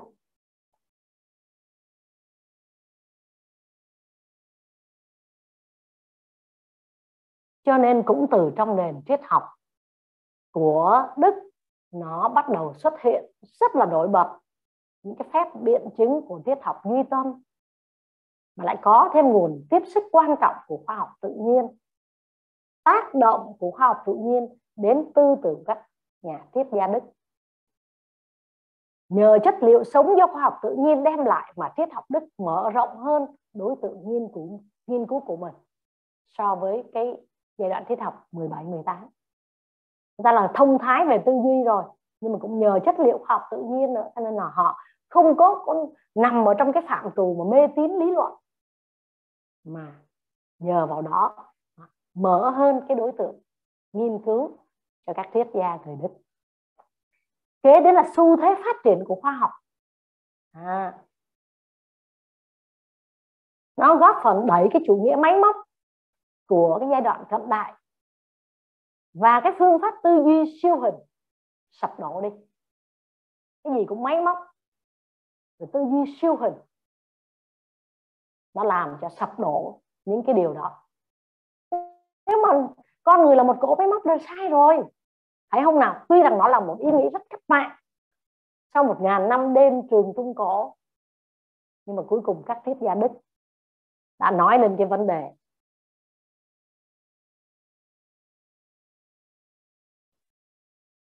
đưa các lý luận làm cho các cái tư duy máy móc và những cái lý luận cái siêu hình học, lý luận siêu hình học sập đổ.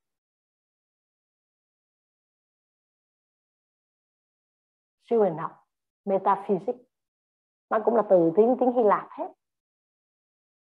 Xuất xuất hiện đầu tiên là trong các tác phẩm của Aristotle, thời Hy Lạp La Mã cổ đại siêu hình học thời kinh viện đó các triết gia đã dành cái từ siêu hình học này nó nói lên một cái ý nghĩa triết học. Ý nghĩa thuần túy lịch sử nào đó, họ dùng cái từ metaphysics này. Mà theo đúng nghĩa triết học thì siêu hình học không có nghĩa là cái đứng sau cái vật lý, cái hữu hình, như là cái ở bên kia, cái vượt lên cái hữu hình, gọi là siêu hình. Theo ý nghĩa triết học thì metaphysics là siêu hình học. Không có nghĩa là cái cái đứng sau cái vật lý, cái hình thể, cái vật chất, mà nó vượt lên trên cái hữu hình, vượt lên trên cái khả giác của mình. Đó là siêu hình. Nhưng mà Aristotle thì coi siêu hình học là khoa học về hữu thể hữu thể học. Là triết học đệ nhất là khoa học thần linh. À nhưng ngày nay siêu hình học là nhận thức các sự vật trong tự thân, trong tự thân của nó, chứ không phải như mình xuất hiện cho mình, mà tự thân của nó nó là như thế nào? Nghĩa siêu hình học. Nhưng nguyên lý đệ nhất của mọi thực tại, siêu hình học là nguyên lý đệ nhất của mọi thực tại. Thế bây giờ trong nhà Phật, cái nguyên lý đệ nhất của mọi thực tại là gì, thưa quý thầy, quý sư cô? Cái gì hình thành đấy một một sự vật, một con người? Cái bản chất đó là gì? Bản chất đó là gì? Là vô ngã. Nó là vô ngã, nó do các duyên mà hợp. Đó. Cái đệ nhất đó.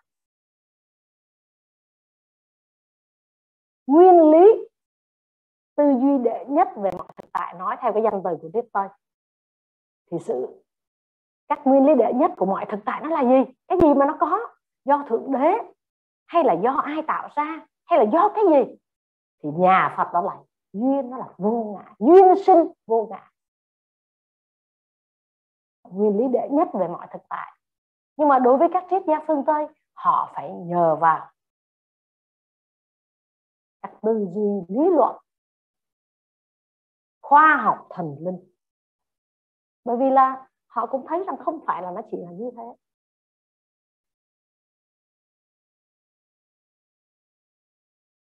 Trong những thế kỷ xa xưa thì siêu hình học nhằm giải thích toàn bộ thực tại. Còn bây giờ thì siêu hình học, nó nói đến ý nghĩa cuộc sống. Ý nghĩa thì, ý nghĩa cuộc sống thì cũng không phải mà mà mà mà mà có thể dùng hình tượng này kia để mà phản ánh hết được. Nó là một cái gì tư duy rất sâu sắc cũng như nhìn một cái người tu ở trong rừng núi là một hai bộ đồ rồi là một hai cái đồ dùng đơn sơ. Ý nghĩa cuộc sống nó là rất là siêu đẳng. Thì cuộc sống chúng ta là xả đi, đi ngược dòng sông thế tục. Có nhiều người bảo ông ngu sao chạy vào đấy?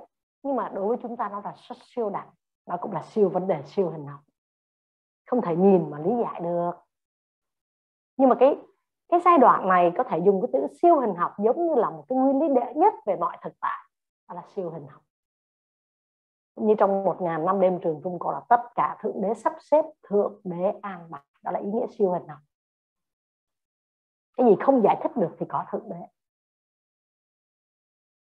Giai đoạn cận đại thì ta lấy khoa học ra để giải thích các vấn đề thực tại.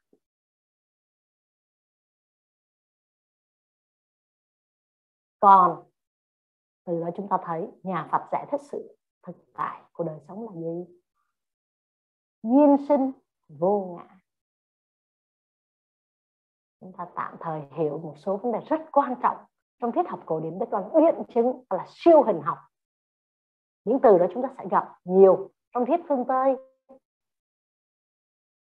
Cái thời gian, quý giá để mà giải thích cho quý thầy, quý sư cô hiểu một cách rõ ràng.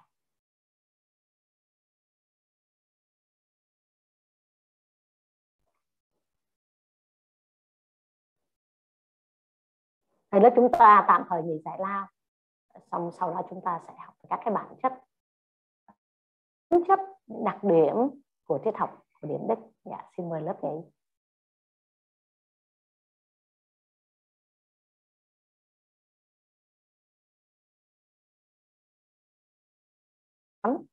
nhưng mà chúng ta sẽ à, được hướng dẫn triết học Tây Âu ở ngưỡng cửa thế giới hiện đại còn triết học Hy Lạp La Mã cổ đại là đỉnh cao trong giai đoạn cổ đại.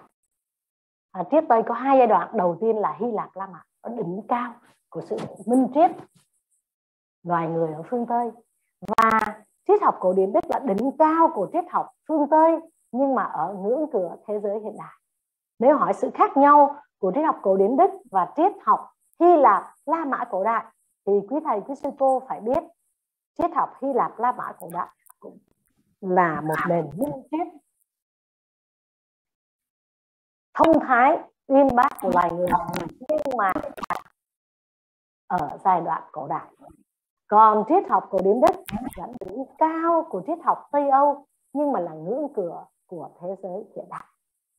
Là hai cái cái khác nhau tiêu biểu, nhưng mà đều là có những vấn đề nó đánh động vào trong gì trong tư duy, trong nhận thức của nhân loại. Thì nói đến triết học, Hy Lạp La Mã cổ đại là phải nhớ tới Socrates. Mà nói đến triết học cổ điển Đức thì phải bắt đầu từ Kant. Ông là mở một cái sự đột phá, nhưng gọi là siêu hình của thời đại về trước một bức tranh của thế giới. Những vấn đề đây là khoa học, không khoa học đúng hay sai, động hay tĩnh, bàn rất nhiều. Trong giai đoạn 200 năm, triết học cận đại, nó phải tuyệt đối như vậy, tuyệt đối đúng, tuyệt đối sai. Là khoa học hay không khoa học, hoặc là động hay nó tĩnh, thì đối với cái tư duy triết học cổ điển đức nó không còn phù hợp. Và chúng ta cũng không có cái gì nói về cái nhìn nhà Phật, cũng không có cái gì tuyệt đối đúng, tuyệt đối sai. Trong thiện có ác thật sự nói đến thiện ác cũng là những cái vấn đề tương đối. Nó không còn phù hợp với những cái phân tích đơn giản của hai mặt đối lập. Nó không còn phù hợp mà phải thâm nhập vào, có chiều sâu bên trong sự vật. Tức là họ không nói đạt được cái cái ngưỡng nhân duyên trong nhà Phật. Nhưng mà họ biết rằng không đơn thuần là họ. Đúng là sai, là sáng là tối, là đông là tối. Là đen là trắng họ đã bắt đầu nhìn ra được cái điều đó. Cho nên cái gì mà tuyệt đối thì không còn phù hợp, mà phải thâm nhập và chiều sâu.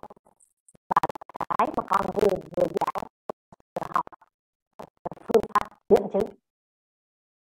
Nói về cái triết học Phật giáo rất biện chứng, đó là phương Tây họ nhìn về đạo Phật. Những vấn đề Đức Phật đưa ra thuyết phục chúng sanh rất là biện chứng làm như thế này thì sao? Mà làm như thế kia, kết quả như thế nào? Và cuối cùng phải làm. Nói về cuộc đời của một con người. Đức Phật nói có bốn cái khuynh hướng để mà đi. Hoặc là đi ngược dòng như chúng ta đang đi. Hoặc là đi thoát dòng thì đi vào trong đời sống thế tục. Hoặc là đứng yên một chỗ tức là mình không chịu sự chi phối. Không nào à, bởi ngược dòng bởi thuận dòng. Và chính đắc một số quả vị rồi đó. Và đi sang bờ bên kia. Đó là giác ngộ giải thoát hoàn toàn. Bốn trạng thái. Giờ mình xác định mình là ngược dòng này thì con người ngược dòng thì sao mà thuận dòng thì sao? Thì chính đề là con người đi ngược dòng. Phản đề là thuận dòng. Bây giờ hợp lại. Hợp đề. Thì chọn con đường nào? Chúng ta là chọn con đường ngược dòng bởi vì nó là cơ sở cho chúng ta hóa giải được nghiệp chướng,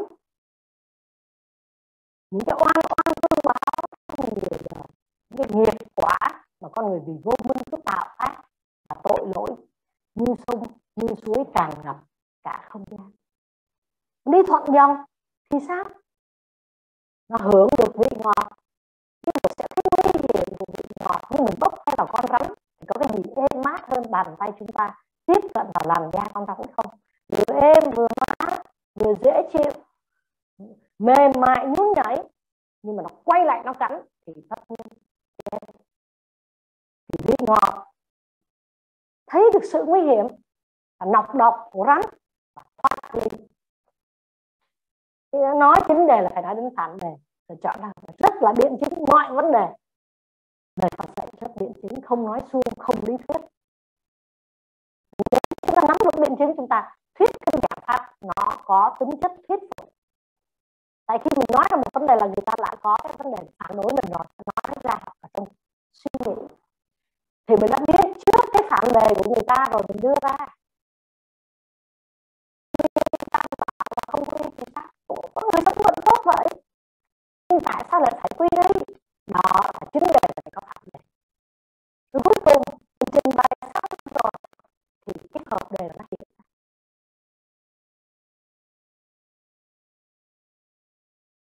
cái giai đoạn rất chính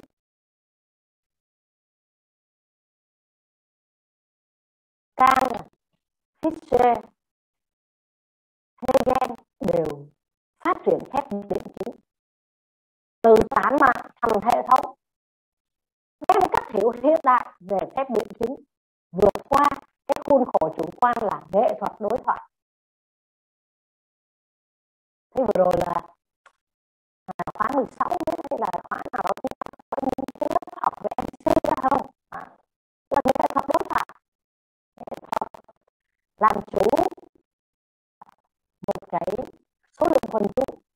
Nghệ thuật đối thoại nhưng nó không phải là biện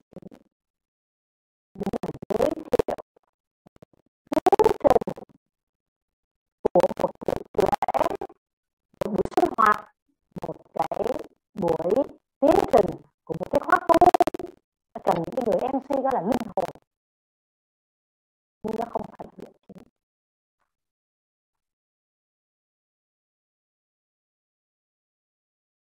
cái phương pháp biện chứng nó không còn sơ lược. Càng ngày nó càng phát huy, cao lên cao lên, mà đỉnh cao là Hegel can là các vị phải nhớ tên rồi đó. Nói tới triết học của điển đức là phải can triết học phê phán, duy tâm duy tâm chủ quan. Nhưng mà qua tới Hegel bộ bắt khoa của thời đại không chỉ là không những chỉ là một thiên tài sáng tạo mà còn là một nhà bác học có tri thức bắt khoa nên trong mọi lĩnh vực ông thể hiện là một người vặt thời đại nhìn cặp mắt của ông đi. Rất sáng, rất sâu sâu sắc ta không chỉ là bác học có tri thức bách khoa, ta biết bắt là trăm, hàng trăm vấn đề đều một cách thấu đáo. Mà là một thiên tài sáng tạo, đồng thời là một triết gia lỗi lạc. Thì mình nhìn những cái vị này thì mình thấy mình chỉ là hạt bụi trong nhân gian.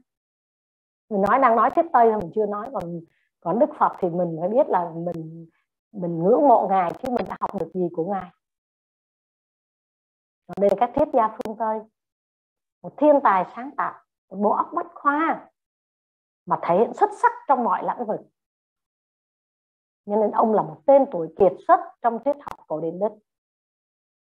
Ông phát triển cái phép biện chứng, từ tự phát thành thành tự giác, từ tán mạng thành hệ thống cái tự phát nó khác, mà tự giác nó khác. Không? tự phát đôi khi nó cũng có những cái là nó sai lệch lắm. Nhưng mà tự giác là mình hiểu rõ điều đó, nên làm điều đó. Mình tu tập và mình tự giác là coi như con người mình đã chiến thắng bản thân. Mình không tự giác được là con người không bao giờ chiến thắng được bản thân. Thì coi như vẫn là đi chăn bò cho người thôi. Đàn bò rất nhiều nhưng không phải bò của mình. Đi chăn bò thuê thôi. Đức Phật dạy trong trung, trung bộ như thế. Tự giác là thể hiện trí tuệ của một con người. Cho nên ông Kant đó rồi bây giờ đến Hegel là một con người đã chuyển cái phép biện chứng từ tự phát sang tự giác từ tán mạng thành hệ thống đem đến cách hiểu hiện đại về phép biện chứng nên mấy ông này đều lỗi lạc về biện chứng mà nhiều quý thầy quý sư cô không hiểu biện chứng là gì thì nó vô ích quá. Trong khi con nói tất cả những cái điều Đức Phật dạy đều hết sức biện chứng. Mặc dù cuộc đời Đức Phật là sống với thiên nhiên cho nên bản kinh của Đức Phật là dấu chân voi. Ở trong rừng có rất là nhiều dấu chân của những con thú. Những chân voi là lớn nhất và những con thú khác đều lọt vào trong những cái dấu chân của con voi. Nói lên cái pháp tứ đế lúc đó giảng cho giới thanh văn à, các hàng phật tử quán thiệt pháp tứ đế. Đời sống này không hiểu là khổ, mà cũng chẳng biết nguyên nhân của sự khổ và chả biết tu tập như thế nào thì muôn đời là khổ. Cho nên vạn pháp đều nằm trong cái dấu chân voi đó. Phật dạy cái bài kinh về bẫy mồi, khu, kinh, âm hoang vu, phải không nào? Đó. kinh con rắn, những cái gì mà nó chung quanh đời sống, nó là những cái bản kinh. Nhưng mà nghe ra nó rất là biện chứng làm như thế này thì sẽ kết quả ra sao, mà làm như thế kia thì kết quả ra sao? Thì tự chọn cách đấy mà làm. Lúc nào đức phật cũng nói mặt này và mặt kia, chứ không bắt người ta đến để tin, đến để mà thấy, nhận thức. Cái nào lợi cho mình, cho người thì làm hãy nhìn bậc thắng nếu mà mình không nhìn nhận được thì cũng vô ích. Vì vậy, Hegel có thể nói rằng ông là một cái người làm tên tuổi ông là một cái triết gia kiệt xuất, có tên tuổi của triết học cổ điển Đức, mà phát triển cái phép biện chứng duy tâm à. phép biện chứng duy tâm Đức thì nó trở thành cái phép biện chính, đồng thời là một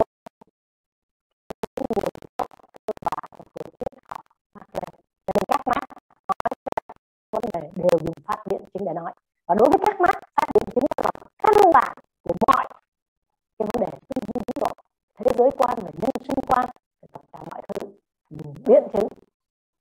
Không nói xuống nói xuống là giáo điều, là áp đảo, là dựa vào uy quyền thế mạnh mà biện chứng. Đó là cách tư duy của các nhà triết gia người Đức thế là mình cũng học được nhiều thứ. Thế là mình, khi đọc những bản kinh của Đức Phật, mình sẽ thấy cái biện chứng của Phật là gì? Không thọ như thế nào mà trở thành một vị tổ là biện chứng lỗi lạc mà tông cũng nói ông là tổ, mà tấn độ tông cũng nói là tổ, mà thiền tông cũng nói ông là tổ. Ai cũng là dành xí ông hết, ông giỏi quá đi. Chính là cái tư duy biện chứng. Còn mình là mình chỉ phán một chiều muốn người ta nghe mình không à. Còn cái chiều kia là gì? Phản đề không hợp đề là gì? Mà ai hiểu được cái này nhanh là người ta tiến bộ rất nhanh. Còn không là suốt đời sống trong cái phản đề đau khổ, tuyệt vọng và chết.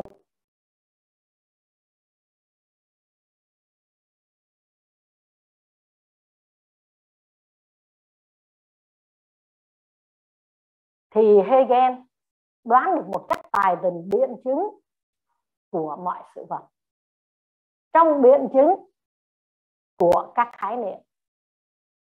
Logic học của Hegel chính là pháp biện chứng. Đó tức là Hegel là cái người khẳng định cái pháp biện chứng là phương pháp à, phương pháp biện chứng là logic học. À logic học của Hegel. Phương pháp lý luận của ông. Cho nên chính ông cũng là nền tảng để mà đưa đến cái triết học mắc lê sau này. Thì chúng ta sẽ thấy rằng đó đối với nhà triết gia Hegel thì ông ta cũng có những cái à, quan điểm về cuộc sống về cuộc đời về con người.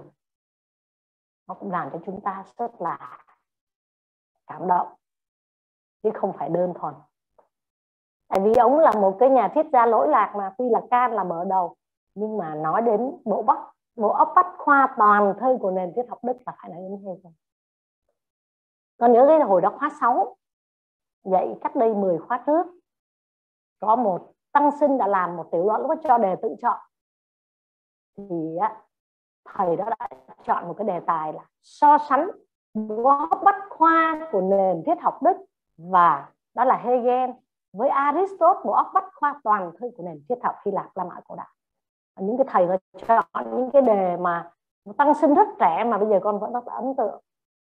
So sánh hai cái bộ bách khoa của thời Hy Lạp La Mã cổ đại với bộ óc bách khoa của nền triết học cổ điển Đức. Thế nó phải xuất phát từ một cái điều kiện lịch sử như thế nào à, một đất nước như thế nào và những cái quan điểm như thế nào? Mà hai bên là hai cái bộ óc bách khoa đó và đưa những cái quan điểm như thế nào? Còn cho rằng đó là những cái bài có những chân tính chất sáng tạo, rất là cao, rất là hay và làm cho con rất là ngưỡng mộ. Thật sự ra những cái bài tiểu luận của quý thầy, quý sư cô viết có một chút cái sự sáng tạo, con đều photo và cắt lại những kỷ niệm trong cuộc đời dạy cái môn thiết tây của mình và kỷ niệm trong các vị tăng ni trẻ có rất là nhiều nhân tài. Có rất là nhiều nhân tài. Về sau này, nó đi đến một cái giai đoạn là người ta, khi bắt đầu cho làm tiểu luận là bắt đầu chết lẫn nhau, thì làm cho mình cảm thấy buồn và không còn muốn cho đề tự chọn nữa. Những cái năm tháng đầu nó nó nó dễ thương lắm, nó ngây thơ lắm. Đó. còn có một thầy là viết hẳn một để nói chuyện vui thôi, viết hẳn một bài trong các triết gia tây phương mà đã được học, tôi tiếp cận gần nhất, đó là triết gia thích nữ hương nhũ viết nguyên bài. Coi như con lạc đề cho rớt cái bộ. Nhưng mà vẫn là một cái kỷ niệm mà con không bao giờ quên. Ồ, tôi đã triết gia phương tây sao mà đi sư hương nhũ ở trong đó? Mà viết cuối bài rồi con chấp nhận rớt. Phải công nhận là mấy thầy rất là là là là, là ngộ nghĩnh và và và rất là là là táo bạo nữa. Rất không chấp nhận đó, mà con viết à bởi vì sao? Ông phụng trình bày ra lý do là vì sao. Bởi vì chính sư à, chính sư cô nó còn gọi bằng sư cô à, đã giúp à, cho em à, xưng em phải không? À, khai phóng ra cái điều gì đó hiểu về minh triết đông tây hay cái gì thì bắt đầu viết một cái tiểu luận cũng 12 13 trang như người ta không thua kém. Cũng thích dẫn phút tốt nghĩa là về mặt lý luận là là về hình thức là ok hết. Vậy mà con vẫn đánh rớt chứ. Chả lẽ cho điểm uh, cao là vì viết về về về mình mà trong cái đề là là hãy viết một cái triết gia phương tây mà bạn tâm đắc. Ê, là là lạc đề là rớt. Nhưng mà có những người là so sánh hai ông triết gia với nhau. Đó là một cái cái cái mà mình không có hình dung được là các, các thầy lại chọn cái điều đó. Và có người chọn luôn cái đề tài là vì sao chủ nghĩa xã hội của Marx? Nó có điểm gì tương đồng với trong cái quan điểm Phật giáo mà lại nó không thực hiện được?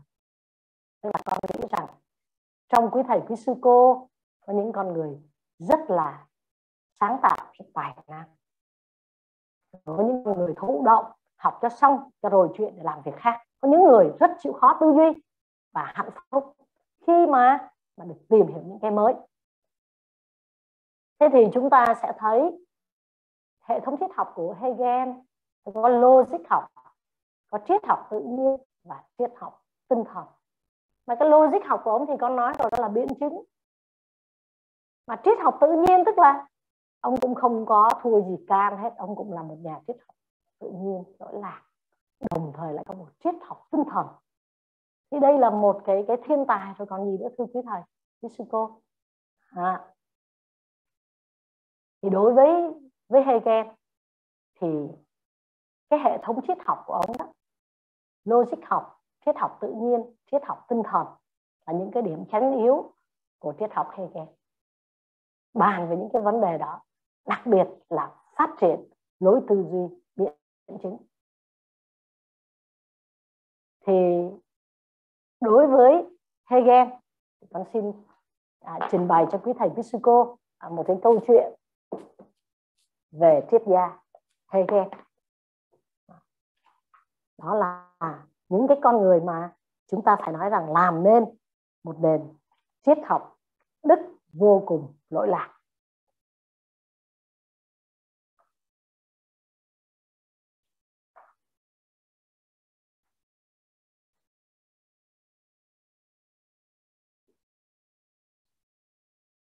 Hegel nhìn mọi sự vật về thế giới và lịch sử của nó, như sự phát triển một cái gì đó phi vật chất. Một tiến trình lịch sử sẽ lên đến cực điểm trong sự tự ý thức do triết học của ông đem tới.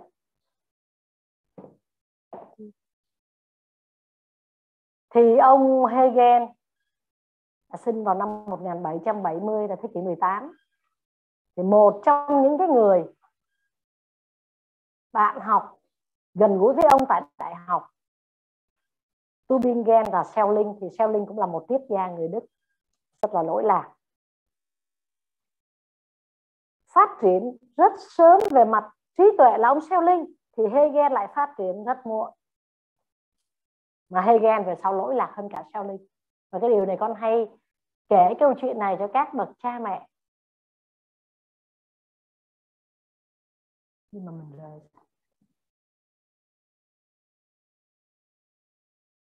Để mà nói, các bậc cha mẹ đừng có tạo áp lực cho con là, con phải là học sinh giỏi, con phải 10 điểm kỳ thi này, con thế này, con thế kia. Và nó đi đến những cái chết oan uổng. Mày không phải 10 điểm mày đừng về gặp mặt tao, tự tử. Trong khi đó con người ai cũng sẽ một giai đoạn phát triển trí tuệ, lúc nào là cao nhất có người là tuổi 20 nhưng cũng có người 50 có người 60 có người 40 30 đừng bắt cái tuổi trẻ mà nó phát triển quá, rồi thì nó sẽ thui chột đi. Như bình thường. Nhưng phải tập tránh niệm, tập nhiếp tâm, làm cái gì ra cái đó. Đừng có bao giờ lấy cái tiêu chí điểm đánh giá về một con người. Trời ơi, cái đó hên xui nhiều lắm hên xui nhiều lắm cho nên thật sự nó không phải là vấn đề quan trọng lắm và chính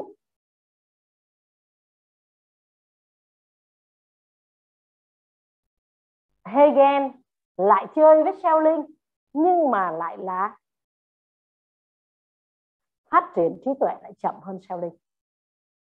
Triết học của Hegel đến sau triết học của Schelling, nửa thế hệ, nhưng mà lại chịu ảnh hưởng của Schelling. Sự nghiệp của Hegel, từ công việc đi dạy tư, rồi chủ biên một tờ báo, rồi làm hiệu trưởng, và cuối cùng là giáo sư triết học. Thì ông từng dạy đại học Berlin, đại học lớn của Đức, rồi Heidelberg ông có những cái tác phẩm vô cùng phong phú. Thời điểm ông qua đời là khuôn mặt trí tuệ vượt trội nhất của nước Đức trong cái giai đoạn ra đời là đang lúc nổi tiếng một cách lỗi lạc thì ông qua đời. Ông mất năm 1831 vậy thì ông bao nhiêu tuổi? Sinh 1770 mất 1831 trong lúc đó là ông là một cái khuôn khuôn mặt trí tuệ vượt trội.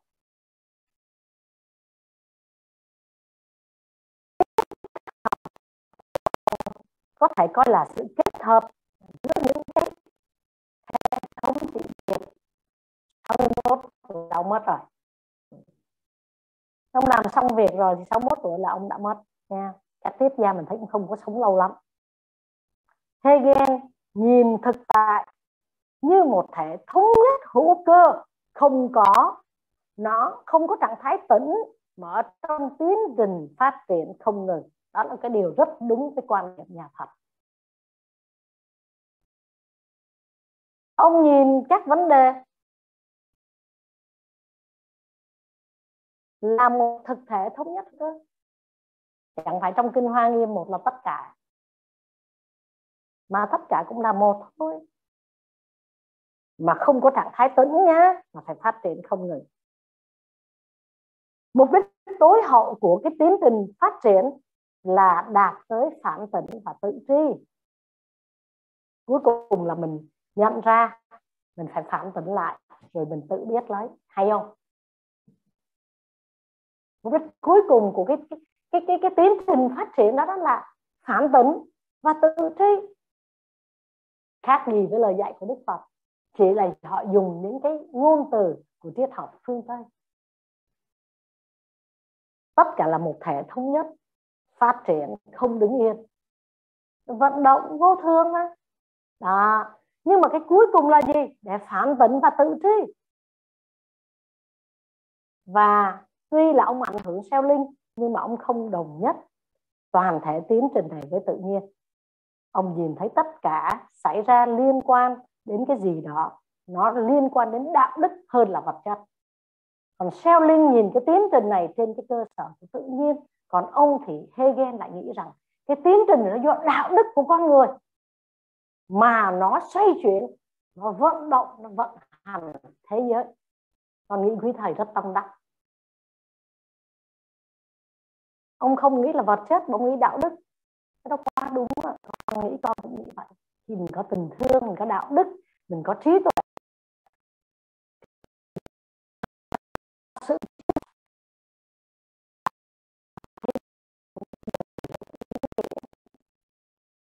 khi mình làm cái gì không phải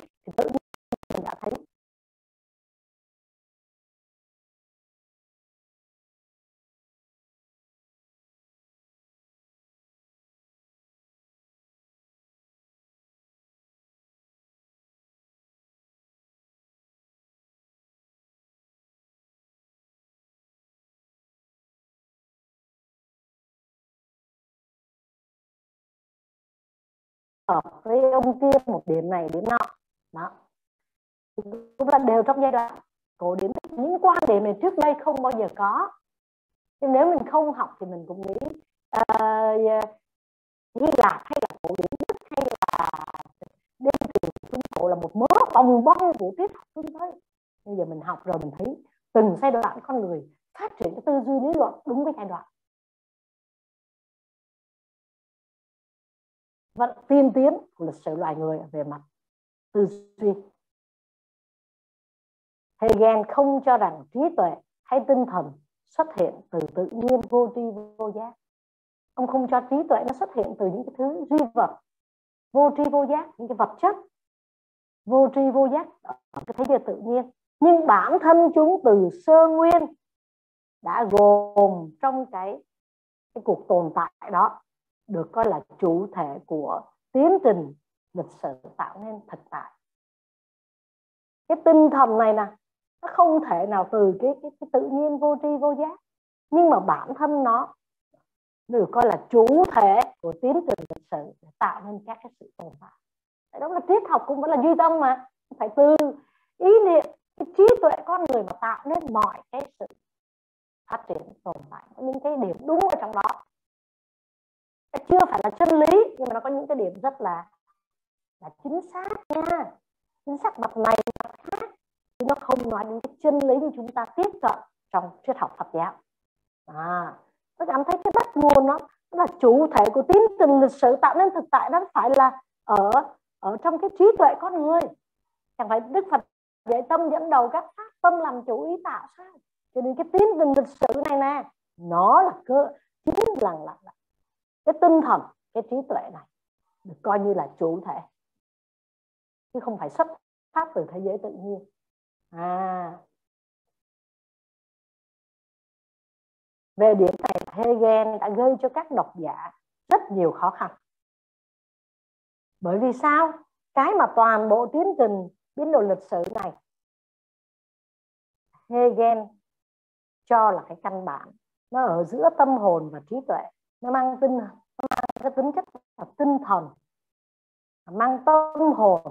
Chứ nó có nghĩa là nó mang một ý nghĩa là là cái thế giới tâm hồn hơn là cái cái mind là cái cái trí tri thức.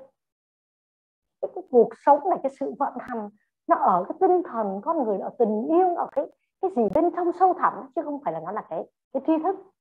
Đó chúng ta phải biết cái cái cái Hegel là nhìn nhận nó phải ở trong chiều sâu của tâm hồn con người. Và do vậy, toàn thể cái tiến trình lịch sử tạo nên thực tại đó là ở cái cơ sở tinh thần để rồi đưa đến tự thấy, tự tri, tự hiểu biết, phản tỉnh lên tức là chúng ta cảm nhận một cái gì đó giống như nhân quả mình nhìn đi rồi mình phản tỉnh rồi mình tự biết lấy. Hãy chiêm nghiệm đi, bằng đời sống tinh thần của mình đi, rồi tự phản tỉnh rồi tự biết lấy đi. Nhưng mà tất nhiên ở trong thuyết phương tây, nó sẽ không có những cái cái cái thuật ngữ như trong nhà Phật. Nhưng mà ông nói là cái tiến trình đó, hãy suy gẫm nó đi. Rồi là tự tri, phản tỉnh rồi tự tri và khi đạt đến cái tình trạng đó tất cả những gì tồn tại sẽ là hòa vào làm một với chính nó. Hòa vào làm một đó, nó, mà ông cho rằng đó sự nhất thể đó là sự nhất thể là tuyệt đối. Bởi vì ông nhìn cái thiết yếu của điều tồn tại là một cái gì phi vật chất chứ không phải là vật chất. Cái gì mà đang tồn tại đây nó không phải là vật chất đâu nó khác hẳn với quan điểm duy vật, từ vật chất. Nhưng mà ông nói ở cái thế giới tinh thần đó, rồi mới làm vận động, làm phát triển, thay đổi từ tinh thần con người. Cho nên ông không có đồng ý là là là từ vật chất. Cho nên ông gọi là chủ nghĩa duy tâm, tuyệt đối. Bản thân Hegel, ông có kết hợp cái triết học của ông với niềm tin cơ đốc giáo. À có. Tại vì ông là vẫn có tín ngưỡng chứ kết kết hợp cái triết học này với cái niềm tin cơ đốc giáo. Nhưng mà những người kế tục ông lại xem như là một thuyết phiếm học, một thứ tôn giáo không thực tế. Tại vì nó là một cái gì đó trong tinh thần con người tự phản tỉnh, tự tri, tự biết và vận hành, thay đổi cuộc sống ở ý niệm con người các triết gia họ cho là một cái tư duy không có thượng đế, chỉ có mình thôi. Thì đối với một nền triết học cổ điển nó quá sức cách mạng. Nó không còn ý lại vào một cái thần linh ban phúc giáng họa mà con người chịu trách nhiệm về những hành vi của mình, rồi tự phản tỉnh và tự biết mình phải làm gì. Cái con người đó cho nên mình ngày nào cũng phải có ngồi yên trong 10 phút để mình xem coi là mình tự phản tỉnh được điều gì? Nhưng mà tiếc thay là quý thầy quý sư cô không rời cái điện thoại. Lúc nào cũng phải cầm cái điện thoại trên tay và nói như một vị cú cắn, một vị thánh. Và cuối cùng, nó là một vật hết sức âm. Âm nó phải âm như như là thiên nhiên là đời sống mà chúng ta. Cứ cắm vào trong cái máy điện thoại âm, để cho con người mình âm u không có tỉnh táo được đâu. Mình thấy là mình thông minh như thế nhưng không tỉnh. Con người ta phải hài hòa, nhưng mà mình cứ say đắm vào trong các cái những cái dụng cụ của nền văn minh là laptop, iphone, ipad, thì nó âm lắm. Rồi từ âm nó thành âm u luôn cho nên đối với ông á, đối với ông Hegel á tiến trình lịch sử không phải là không phải là cái gì? À, cái gì mà thuộc về là cái cái cái cái cái cái cái vật chất mà phải tinh thần? Nhưng mà các Marx thì lại quyết liệt. Ông tiếp nhận hầu hết tư tưởng của Hegel rồi tuyên bố rằng chủ thể của toàn bộ tiến trình lịch sử không có cái gì mà thuộc về tinh thần hay tâm hồn và thuộc về vật chất. Làm các Marx là phản đối lại cái quan điểm đó. Một bên là tinh thần một bên là vật chất. Mình thấy cái tiến trình của triết gia phương tây nó vất vả lắm. Thế mình may quá mình học ông Phật của mình, mình đỡ phải tranh cãi đúng không? Nhưng mình phải biết cái thế giới này nó nó nó phải lý luận biện chứng. Đôi khi lý luận đủ thứ chuyện cả. Và sự thấu triệt chủ đạo của Hegel rất giống với sự thấu triệt của Hecalit. Hecalit là nhà triết gia Hy Lạp La Mã cổ đại. Thì Hecalit nhìn thấy mọi sự vật đang tiến triển, mọi sự vật đó là hệ quả của một quá trình tiến triển chứ không phải là đứng im cứng nhắc thì ông Hegel cũng nhìn nhận nó là một quá trình và thống nhất mình cứ nhìn đi thế giới như thế này thì mình cũng phải xem lại tâm mình chứ mình mình nói, cái thế giới nó không dính gì tới tôi hả? Nó chiến tranh nó nó tàn hại lẫn nhau, nó không có liên quan gì tới tôi tôi thanh tịnh nó không dám đâu. Nó đều là một sự thống nhất, ảnh hưởng đến nhau. Nhưng mà ông không thể nói được cái vấn đề nhân duyên, cái này có, cái kia có. Ông không nói một cách thấu đáo như là một chân lý như đức phật được, mà ông chỉ nói là một thống nhất. Nó không thể nào tự thân nó đứng yên mà nó phải vận động nó phát triển. À, vận động phát triển nó chính là quá trình tư duy của con người tinh thần của con người. Hãy nhìn vào đó mà phạm tấn tự biết mình đi rồi là tự tri là nhìn vào rồi tự biết. Cho nên toàn bộ tiến trình đều liên quan đến cái sự hiểu biết tư duy của con người. Cái tiến trình nào cho do cái sự tác động từ con người chứ không bao giờ mà tùy tiện những phức tạp đều yếu tố xung đột và những yếu tố này phá vỡ đi sự tĩnh tại mà con người nào cũng có những yếu tố xung đột. Tự thân mình thích mình cái này, mình không đồng ý mình cái kia. Mình thích đại chúng cái này, không thích cái kia. Mình luôn có cái xung đột. Lớn thì tạo ra những làn sóng, nhỏ thì nó âm thầm làn sóng bên trong. Luôn luôn có xung đột. Mà đã xung đột thì cái thế giới này nó phải rung. Nó rung theo sóng mà chứ không phải nó đợi động đất nó gọi là rung. Nó rung theo sóng mà nó đã rung như vậy thì nó phải biến chuyển. Mọi sự xung đột, chiến tranh của thế giới này, nói cho cùng cũng từ ở trong cái đời sống tinh thần của con người. Thì con cảm thấy Hegel quá vĩ đại. Nếu quý thầy, quý sư cô nhìn nhận được cái tư tưởng minh triết của Hegel như vậy, thì chúng ta sẽ cảm thấy mình tiếp cận nền minh triết phương Tây rất là giá trị. Họ cũng đón nhận được những điều họ cũng khai phóng nhìn ra được những vấn đề gần như là chân lý của cuộc đời.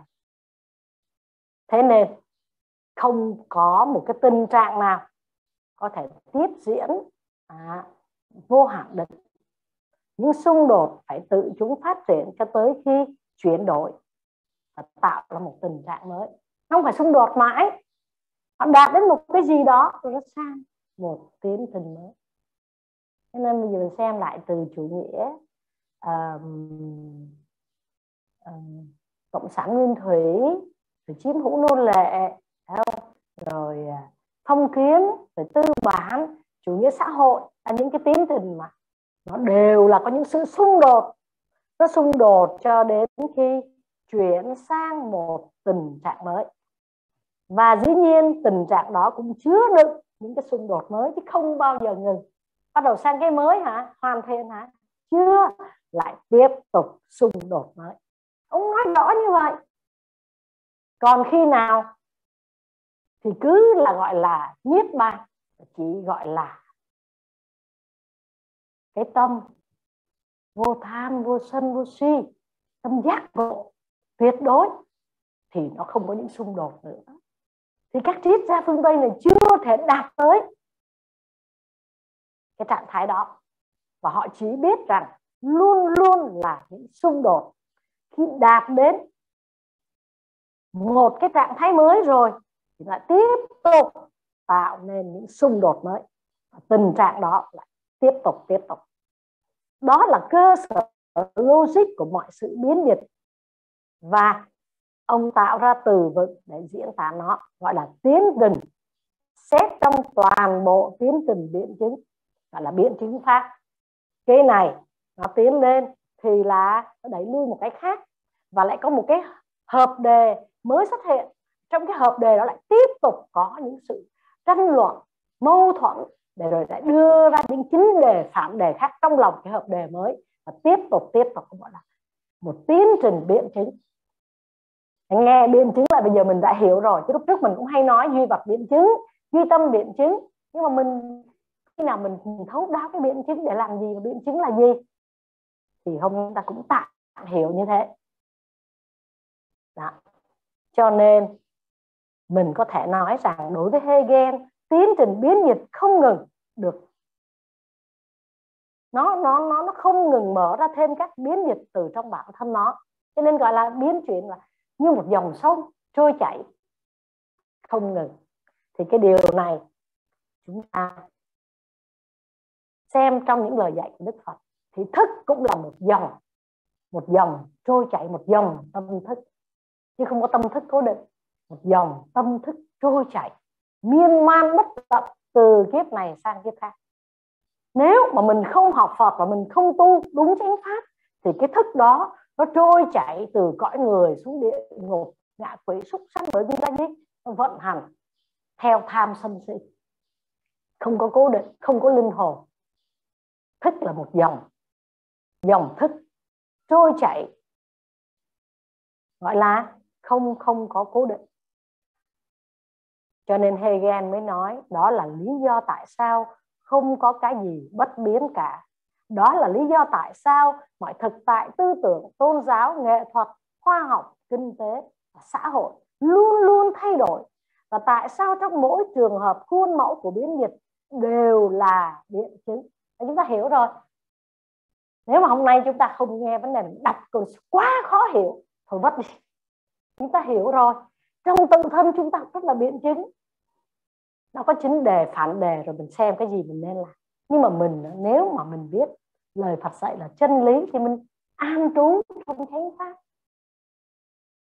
Những cái gì nó không đúng như vậy thì mình loại nó một cách dễ dàng vì mình đã có con đường để đi còn các vị này, quy luật biến dịch không ngừng ở trong mỗi tâm thức con người. Nó đi đến sự vận hành, nghệ thuật, khoa học, tư tưởng, tôn giáo, kinh tế, vân vân, xã hội. Dòng chảy. Cho nên biến dịch là sản phẩm của tất cả mọi hoạt động trong xã hội. À về về mặt chính trị thì ông Hegel cũng do con người hiện hữu được trọn vẹn được cũng là nhờ ở nhà nước tiếp tục.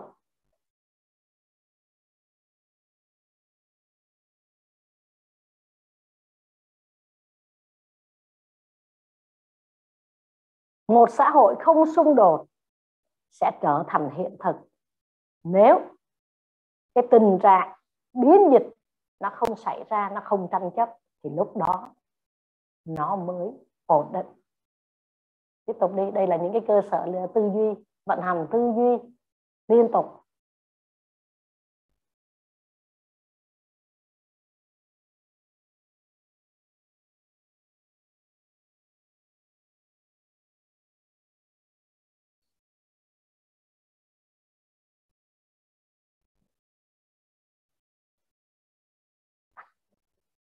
Âm thanh.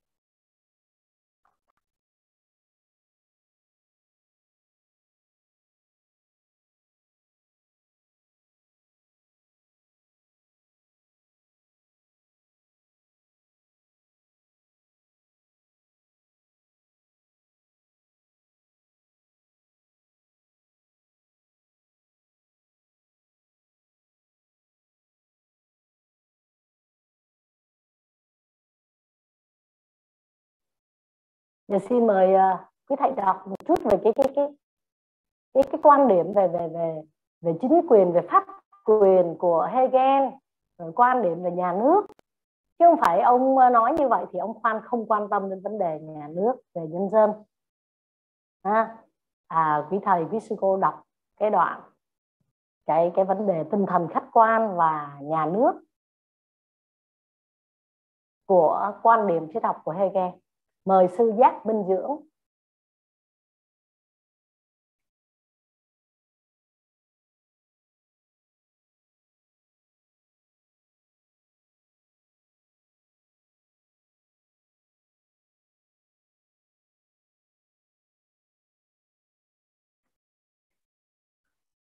À mở mở mic con. Rồi xin mời dạ, thầy dạ. mời sư. Dạ ni sư nghe không ạ thì kính thưa sư kính thưa thầy cô sư đọc tinh thần khách quan hay lĩnh vực hoạt động. Ông quan điểm rằng khách quan hóa, tinh thần của con người trong pháp quyền, đạo đức, phong hóa. Nếu pháp quyền là sự thể hiện ý chí trong các quan hệ xã hội, nhất là quan hệ sở hữu, thì đạo đức là sự thể hiện ý chí ở thế giới của một cá nhân qua hành vi sự thế. Sự cân bằng giữa ước muốn cá nhân và tính quy định xã hội tính quy định xã hội được hoàn thiện dần trong phong hóa, từ gia đình đến xã hội công dân và nhà nước. Sự phân chia xã hội ra các đẳng cấp do phân công lao động và năng lực tinh thần phổ biến. Quy định vì vậy bắt buộc, vì vậy bất bình đẳng là hiện tượng phổ biến, không thể khắc phục trong điều kiện nhà nước, dù đó là nhà nước lý tưởng. Nhà nước là sự phát triển cao nhất của tinh thần khách quan sự thực hiện tinh thần nhân dân, cuộc hành trình của thượng đế trong thế giới, trong quan điểm nhà nước, Hegel có vận dụng một số tư tưởng tiến bộ của các nhà khai sáng Pháp tự do, nguyên tắc tự chủ của công dân, bình đẳng trước pháp luật, cơ quan lập pháp, cơ quan hành pháp. Hegel xem hình thức phát triển cao của nhà nước là chế độ quân chủ lập hiến, phân chia quyền lực theo cấu trúc quyền lập pháp, quyền hành pháp chính phủ quyền của nhà vua tức là quân quyền. Dạ, dạ rồi. Dạ. xin cảm ơn sư. Chúng ta đọc một cái đoạn như vậy là mình cũng đã cảm thấy là nó có vẻ khó hiểu rồi. Nhưng mà không hãy nhìn kỹ. Ông phân tích tại sao nó có vấn đề bất bình đẳng. Cái điều mình phải xem liền nếu theo quan niệm nhà Phật cái bất bình đẳng nói ngay cái vấn đề phạm trù nhân quả. Nhưng ở đây ông đã phân tích cái bất bình đẳng đó, nó do cái gì? Do cái tinh thần của con người, nó do đạo đức, cái phong hóa là cái cái cái phong tục tập quán, thể hiện trong các quan hệ xã hội, nhất là quan hệ sở hữu. À tức là sở hữu gì? Sở hữu tư bản, chủ nghĩa xã hội, hay là nô lệ, vân vân. Thì trong các cái phạm trù quan hệ của nhà nước đó, thì đạo đức là thể hiện cái ý chí của mỗi một cá nhân bất cứ cái xã hội nào thì cái đạo đức nó phản ánh lên cái con người. Rồi nó thể hiện qua hành vi xử thế. Rồi là các quy định của xã hội như vậy thì ước muốn cá nhân của mình nó có hòa hợp không? Hay nó muốn hơn? Nó tham lam đến mức độ mà mình sáng làm quan mình tối vào tù là mình đã vượt qua ước muốn. Phù hợp rồi, vượt qua quy định xã hội rồi. Nên tính quy định xã hội đó, nó phù thuộc vào cái phong tục tập quán từ gia đình công dân từ gia đình đến xã hội đến nhà nước. Nó thiết lập. Rồi từ cái sự phân chia xã hội là người lao động người trí thức vân vân à, nó tạo nên một cái năng lực tinh thần phổ biến. Và nó xảy ra tình trạng bất bình đẳng vì nó sẽ có nhiều vấn đề. Do đạo đức do đẳng cấp xã hội do phong tục tập quán mà nó xảy ra tình trạng bất bình đẳng. Và ông nói không thể khắc phục trong bất cứ nhà nước nào dù là nhà nước lý tưởng nhất, vẫn không khắc phục được. Ông nói như vậy, rất trí tuệ. Ông nói là phong tục tập quán nhá, rồi sự phân công lao động nhá. Mà phân công lao động nó là nhân quả rồi. À rồi tri thức của con người, cái cái trí thức của con người. Đó. rồi là cái năng lực, cái năng lực tinh thần, tức là cái cái vốn có. Có người sinh ra là thông minh đến ngộ cái người nói cả trăm câu chả hiểu gì hết. Nó là tự nhiên của cái người đó như vậy. Nó khiến cho không bao giờ mà có sự bình đẳng tuyệt đối, mà phải bất bình đẳng. Dù cho nhà một nhà nước lý tưởng nhất. Thì con thấy rằng ông phân tích rất đúng. Có điều là ông không dùng những cái thuật từ của Phật giáo. Nên mình đừng có nói là mấy ông này không dính gì với mình. Ông đều có những tư duy rất xuất sắc còn nhà nước là sự phát triển cao nhất của tinh thần khách quan là vì nhà nước không vì ai mà có nhà nước, mà vì tất cả, vì tinh thần nhân dân. Và ông dùng cái từ là cuộc hành trình của thượng đế trên thế giới này. Thượng đế là phải giúp con người, cho nên nhà nước là cuộc hành trình của thượng đế trong thế giới. Cho nên nó khách quan. Mà nó không khách quan là chắc chắn nó sẽ không có uy tín và nó sẽ bị sập đổ. Nó phải khách quan, nó phải lấy quyền, lợi của dân, của do dân à, cho nên là ông Hegel ấy vận dụng những tư tưởng về tự do về tự chủ của công dân à, về bình đẳng trước pháp luật về cơ quan luật pháp hành pháp vân vân để ông nói lên à, cái quyền của nhà vua quyền của chính phủ quyền phân chia quyền lực rất là khoa học. Và Hegel phải nói rằng một con người vô cùng trí tuệ như vậy là ông là một con người đã thấy rõ là dù cho đất nước có lý tưởng cách mới tiếp tục cũng không thể nào gọi là một đất nước thiết lập được cái quyền bình đẳng của con người. Sau cái giai đoạn học về cái Hegel chúng ta sẽ tìm hiểu về Feuerbach à, chủ nghĩa nhân bản đặc trưng. Có nói từ đầu rồi ông không muốn nói là duy tâm ông không muốn nói duy vật ông nói lên chủ nghĩa nhân bản chủ nghĩa duy vật nhân bản. Kết hợp giữa chủ nghĩa duy vật với thuyết nhân bản. Lấy học thuyết con người làm nền tảng là đối tượng nghiên cứu cho nên là nhân bản. Gì mà lấy con người làm nền tảng là nhân bản? Đạo phật rất nhân bản là vì lấy con người làm nền tảng. Như thầy Physico nhớ như vậy. Giai đoạn phục hưng gọi là giai đoạn. Nhân văn, vì là lấy con người, chứ còn không còn trong một ngàn năm đêm trường trung cổ bắt đầu người ta muốn phục lại, phục hưng, khôi phục lại cái tinh thần nhân bản của con người. Thì cái triết học của Feuerbach gọi là chủ chủ nghĩa duy vật, nhân bản. Mục đích là gì? Là lấy con người làm đối tượng nghiên cứu, loại bỏ thượng đế ra khỏi đối tượng nghiên cứu, chỉ còn lại là tự nhiên và con người. Đó, thì bây giờ chúng ta trình bày năm cái cái cải cách triết học của Feuerbach xin mời thích nữ thông hiền.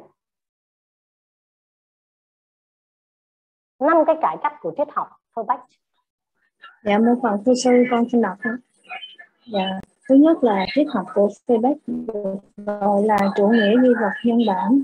Thì ở đó, sự kết hợp giữa chủ nghĩa duy vật và thuyết nhân bản là học thuyết lấy con người làm nền tảng, làm đối tượng nghiên cứu chủ yếu.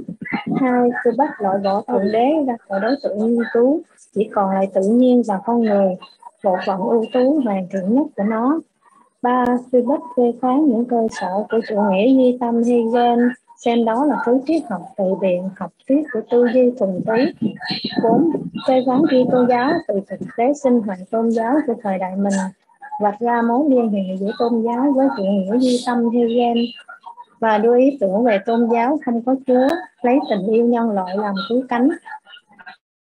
Năm, dưới ảnh hưởng của Đại cách mạng Pháp, Phi Bách đề cao khát vọng tự do và dân chủ, mô hình xã hội của công dân và nhà nước pháp quyền. Dạ, con xin hết. À, xin à, cảm ơn Thông Hiền. Thế thì chúng ta nhìn thấy học rồi nha, mình giải thích về biện chứng rồi chúng ta thấy không? những cái vấn đề cải cách triết học của Foucault vô cùng biện chứng ông chấp nhận cái gì thì coi như ông cho ra một chính đề thì ông lập tức cái phản đề là cái gì Dạ, phản đề của ông là ông phê phán những cơ sở của chủ nghĩa duy tâm Hegel. Ông coi như là tự biện. Chủ nghĩa tư duy thuần túy tự biện thôi. Chứ còn ông là phải kết hợp chủ nghĩa nhân bản với chủ nghĩa duy vật cũng là một quan điểm. Chúng ta cần cần cần tìm hiểu về chúng mình không về vào cái thế giới phương tây thì mình thấy mọi thứ là nó như vậy rồi. Đức phật nói như vậy rồi mình cứ sống như vậy. Nó đúng rồi, nó là chân lý rồi. Nhưng thật sự ra chung quanh chúng ta những luồng tư tưởng gọi là tư duy biện chứng, nó sanh khởi trên phạm vi toàn thế giới. Nó phải ai cũng có nhân duyên mà gặp chân lý. Ông phê phán chủ nghĩa duy tâm rồi phê phán Kitô giáo. Một thực tế của ông ấy để ông tìm ra mối liên hệ giữa tôn giáo với chủ nghĩa duy tâm Hegel. À ông ấy, tôn giáo không có chúa mà chỉ có tôn giáo của tình thương. Là một cái cái cái sự cắt mạnh trong cái cải cách triết học của Feuerbach và từ đây chúng ta sẽ nhận thấy cái cái biện chứng của các triết gia phương Tây, đặc biệt là thời triết học của Liên Đức.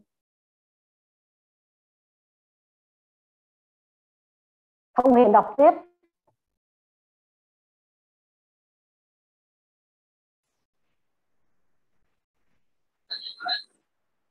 Ông Phật. Dạ, con xin đọc tiếp ạ. Dạ, trong cương lệnh cải cách, tư tác nhấn mạnh điểm cốt lõi thông qua con người đưa tất cả những gì siêu nhiên về với tự nhiên và thông qua tự nhiên đưa tất cả những gì siêu nhân về với con người. Khác với Kant và Hegel, khi bắt loại bỏ thượng đế ra khỏi đối tượng nghiên cứu, chỉ còn lại tự nhiên và con người, bộ phận ưu tú hoàn thiện nhất của nó. Tuy nhiên, ông không tham gia vào những chuyển biến chính trị đang diễn ra tại Đức. Từ sau năm 1841, khi bắt đầu cuộc sống ẩn dật tại một vùng quê hẻo lánh, triết học của Quebec được gọi là chủ nghĩa duy vật nhân bản, vì ở đó sự kết hợp giữa chủ nghĩa duy vật và triết nhân bản là học thuyết lấy con người làm nền tảng, làm đối tượng như chủ yếu. Dạ, như là Phật Tân xin nói ạ. Dạ, xin mời thầy Tâm Liên nói tiếp 5 điểm cải cách triết học của cô bác ạ. Vâng phơi phải những cơ sở của chủ nghĩa duy tâm Hegel xem đó là thứ triết học từ triết học mà từ biện, học thuyết của tư tư duy phần tí tác phẩm, góp phần phơi phán triết học Hegel năm 1839 thứ tư ông phơi phán cả Kitô giáo từ thực tế sinh hoạt tôn giáo của thời đại ngày mình đồng thời vạch ra mối liên hệ giữa tôn giáo với chủ nghĩa duy tâm Hegel như chủ nghĩa duy tâm trên trời với chủ nghĩa duy tâm dưới mặt đất. Tác phẩm à, bản chất Kitô giáo năm 1841 và đưa ý tưởng tôn giáo không có Chúa lấy tình yêu nhân loại làm cứu cánh. Từ từ. Không bị che. Tiếp tiếp thêm một đoạn tiếp nữa con cho qua cho qua dạ. cái này là à, số 5 cái năm là dưới ảnh hưởng của đại cách mạng pháp Frebat đề cao khát vọng tự do và dân chủ mô hình xã hội công dân và nhà nước pháp quyền tư duy ông không tham gia vào uh, những chuyển biến chính trị đang diễn ra tại Đức từ sau năm 1841 Frebat bắt đầu cuộc sống ẩn dật tại vùng quê hẻo lánh chúng ta thấy là Feuerbach đưa lên một cái chủ nghĩa nhân bản rất đặc trưng rất là đặc trưng rất là tiêu biểu về cái cái cái cái cái triết học của ông là nhân bản. Cho nên chắc chắn là Feuerbach cũng rất là hay thưa quý thầy quý sư cô tại vì đối với ông là ông lấy cái gì lấy con người làm nền tảng và ông kết hợp với chủ nghĩa duy vật. Và ông xem cái quan điểm của Hegel là chủ nghĩa duy tâm ở trên trời không có thực hiện được. Nhưng mà duy tâm cũng đâu phải là của Hegel cũng đâu phải là giỡn chơi đâu con người á, tiến trình mà không có phản tỉnh không tự tri không nhìn là một thể thống nhất thì con người là không bao giờ thay đổi chuyển hóa. Và ông cho mọi sự chuyển hóa thay đổi của nhân sinh vũ trụ thế giới là tự con người. Mà sao ông Feuerbach là tiếp tục biện chứng? Ông phản đối Hegel đưa ra quan điểm của ông. Ông cũng có cái hay của ông á. Đó. Nhưng mà chúng ta cảm thấy cái nào có cái hay cái nào có cái không hay vì nó chưa phải là chân lý. Xin mời thầy thích an trí tiếp tục.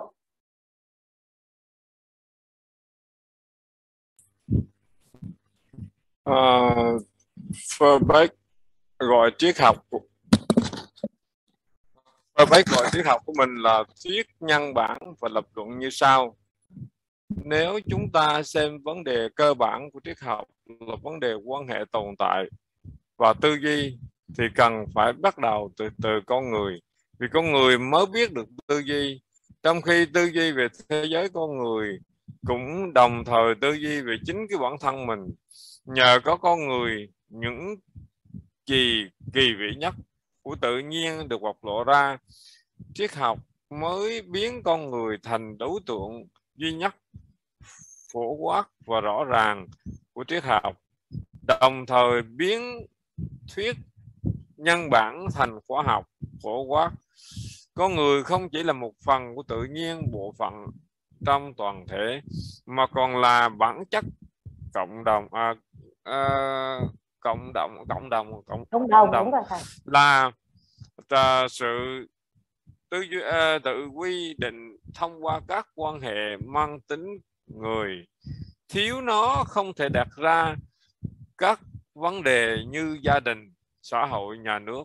Các tiêu chí hướng uh, dẫn hành vi con người xem xét mình như bản chất cộng đồng con người xác định mục tiêu cuối cùng của cộng đồng lớn, mang tính nhân loại, là vương quốc tự do. Đó là nội dung tư tưởng mà Quebec đã kế thừa Ken và Hagen song khi à, đề cập tới những tố chất người làm nên bản chất cộng đồng Quebec đã tự đưa ra cách tiếp cận mới. Ông xem lý trí, ý chí, có cảm là ba tố chất cơ bản hai ba giá trị con người phân biệt thế giới con người nói chung và thế giới loài vật lý trí ý chí.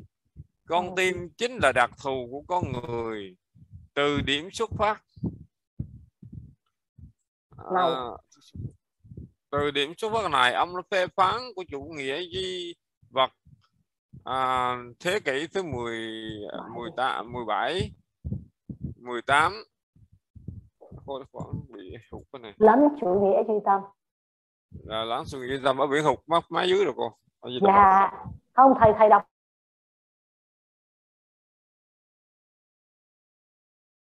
Là ông chủ nghĩa nhân bản. Ông phê bình luôn chủ nghĩa duy vật phê bình luôn chủ nghĩa duy tâm nó không có con người thì không có làm được cái gì hết. Nên đối với ông là con người. Thì trong con người đã có lý trí nè có ý chí nè có con tim nè sẽ hình thành lên mọi thứ. Cho nên ông phê phán cả chủ nghĩa duy vật, ông phê phán cả chủ nghĩa duy tâm ông nói là ông Hegel cứ nói cái ý chí thôi, cái cái gì đó, cái cái cái tinh thần thôi. Ông còn còn còn các cái vị khác ở trong giai đoạn cận đại chỉ nói về duy vật thôi, thậm chí như các mát nhưng không có con người thì làm gì có mọi thứ. Nên chỉ đề cao cái vấn đề con người. Và khi mai mốt có nhiều thầy các sư cô là học tâm lý học đó thì thấy cầm tâm lý học phương tây nó bắt nguồn từ gì? Về.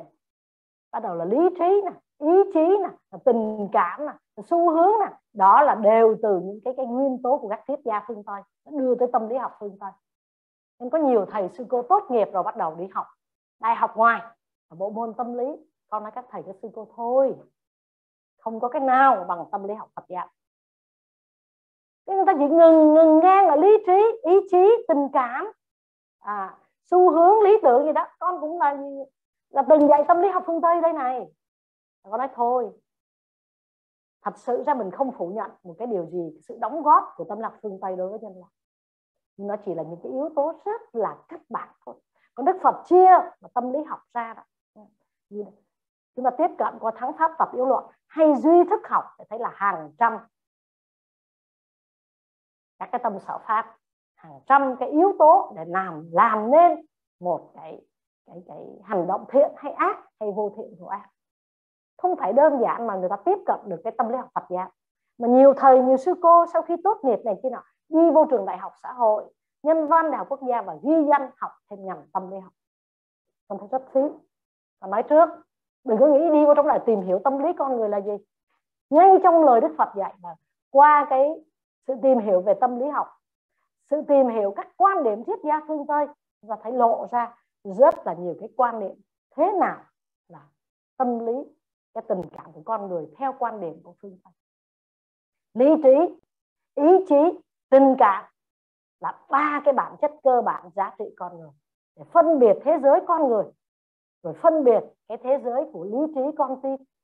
À, cái ông phê phán chủ nghĩa duy tâm chủ nghĩa duy vật cái nền tâm lý học cũng xuất phát từ những cái này này, cũng khai thác lý trí này, ý chí là tình cảm này, à, xu hướng là hành động nè tâm lý cá nhân tâm lý này kia nọ um, nhóm tâm lý đoàn tâm lý này tâm lý kia. Tâm lý thanh thiếu niên tâm lý lứa tuổi tâm lý giáo dục đủ mọi thứ. Nhưng mà chỉ có đức phật là nhìn thấu vào trong gì cái lộ trình tâm của chính mình của từng con người nên ngài mới là gì? Lậu tận minh. À. Rồi là có thể nhìn thấy quá khứ hiện tại vĩ lai. Phật năng tri quần sanh chi tánh biết tất cả tâm tánh của chúng sanh. Phật năng tri quần sanh chi tánh. Nhi bất năng. Hóa đạo vô duyên. Biết hết căn tánh chúng sanh, nhưng không có duyên thì không hóa độ. Mà cái căn tánh này là bởi vì thấy rõ cái lộ trình tâm, cái quá khứ, cái thiện ác, cái quả báo của mỗi một con người.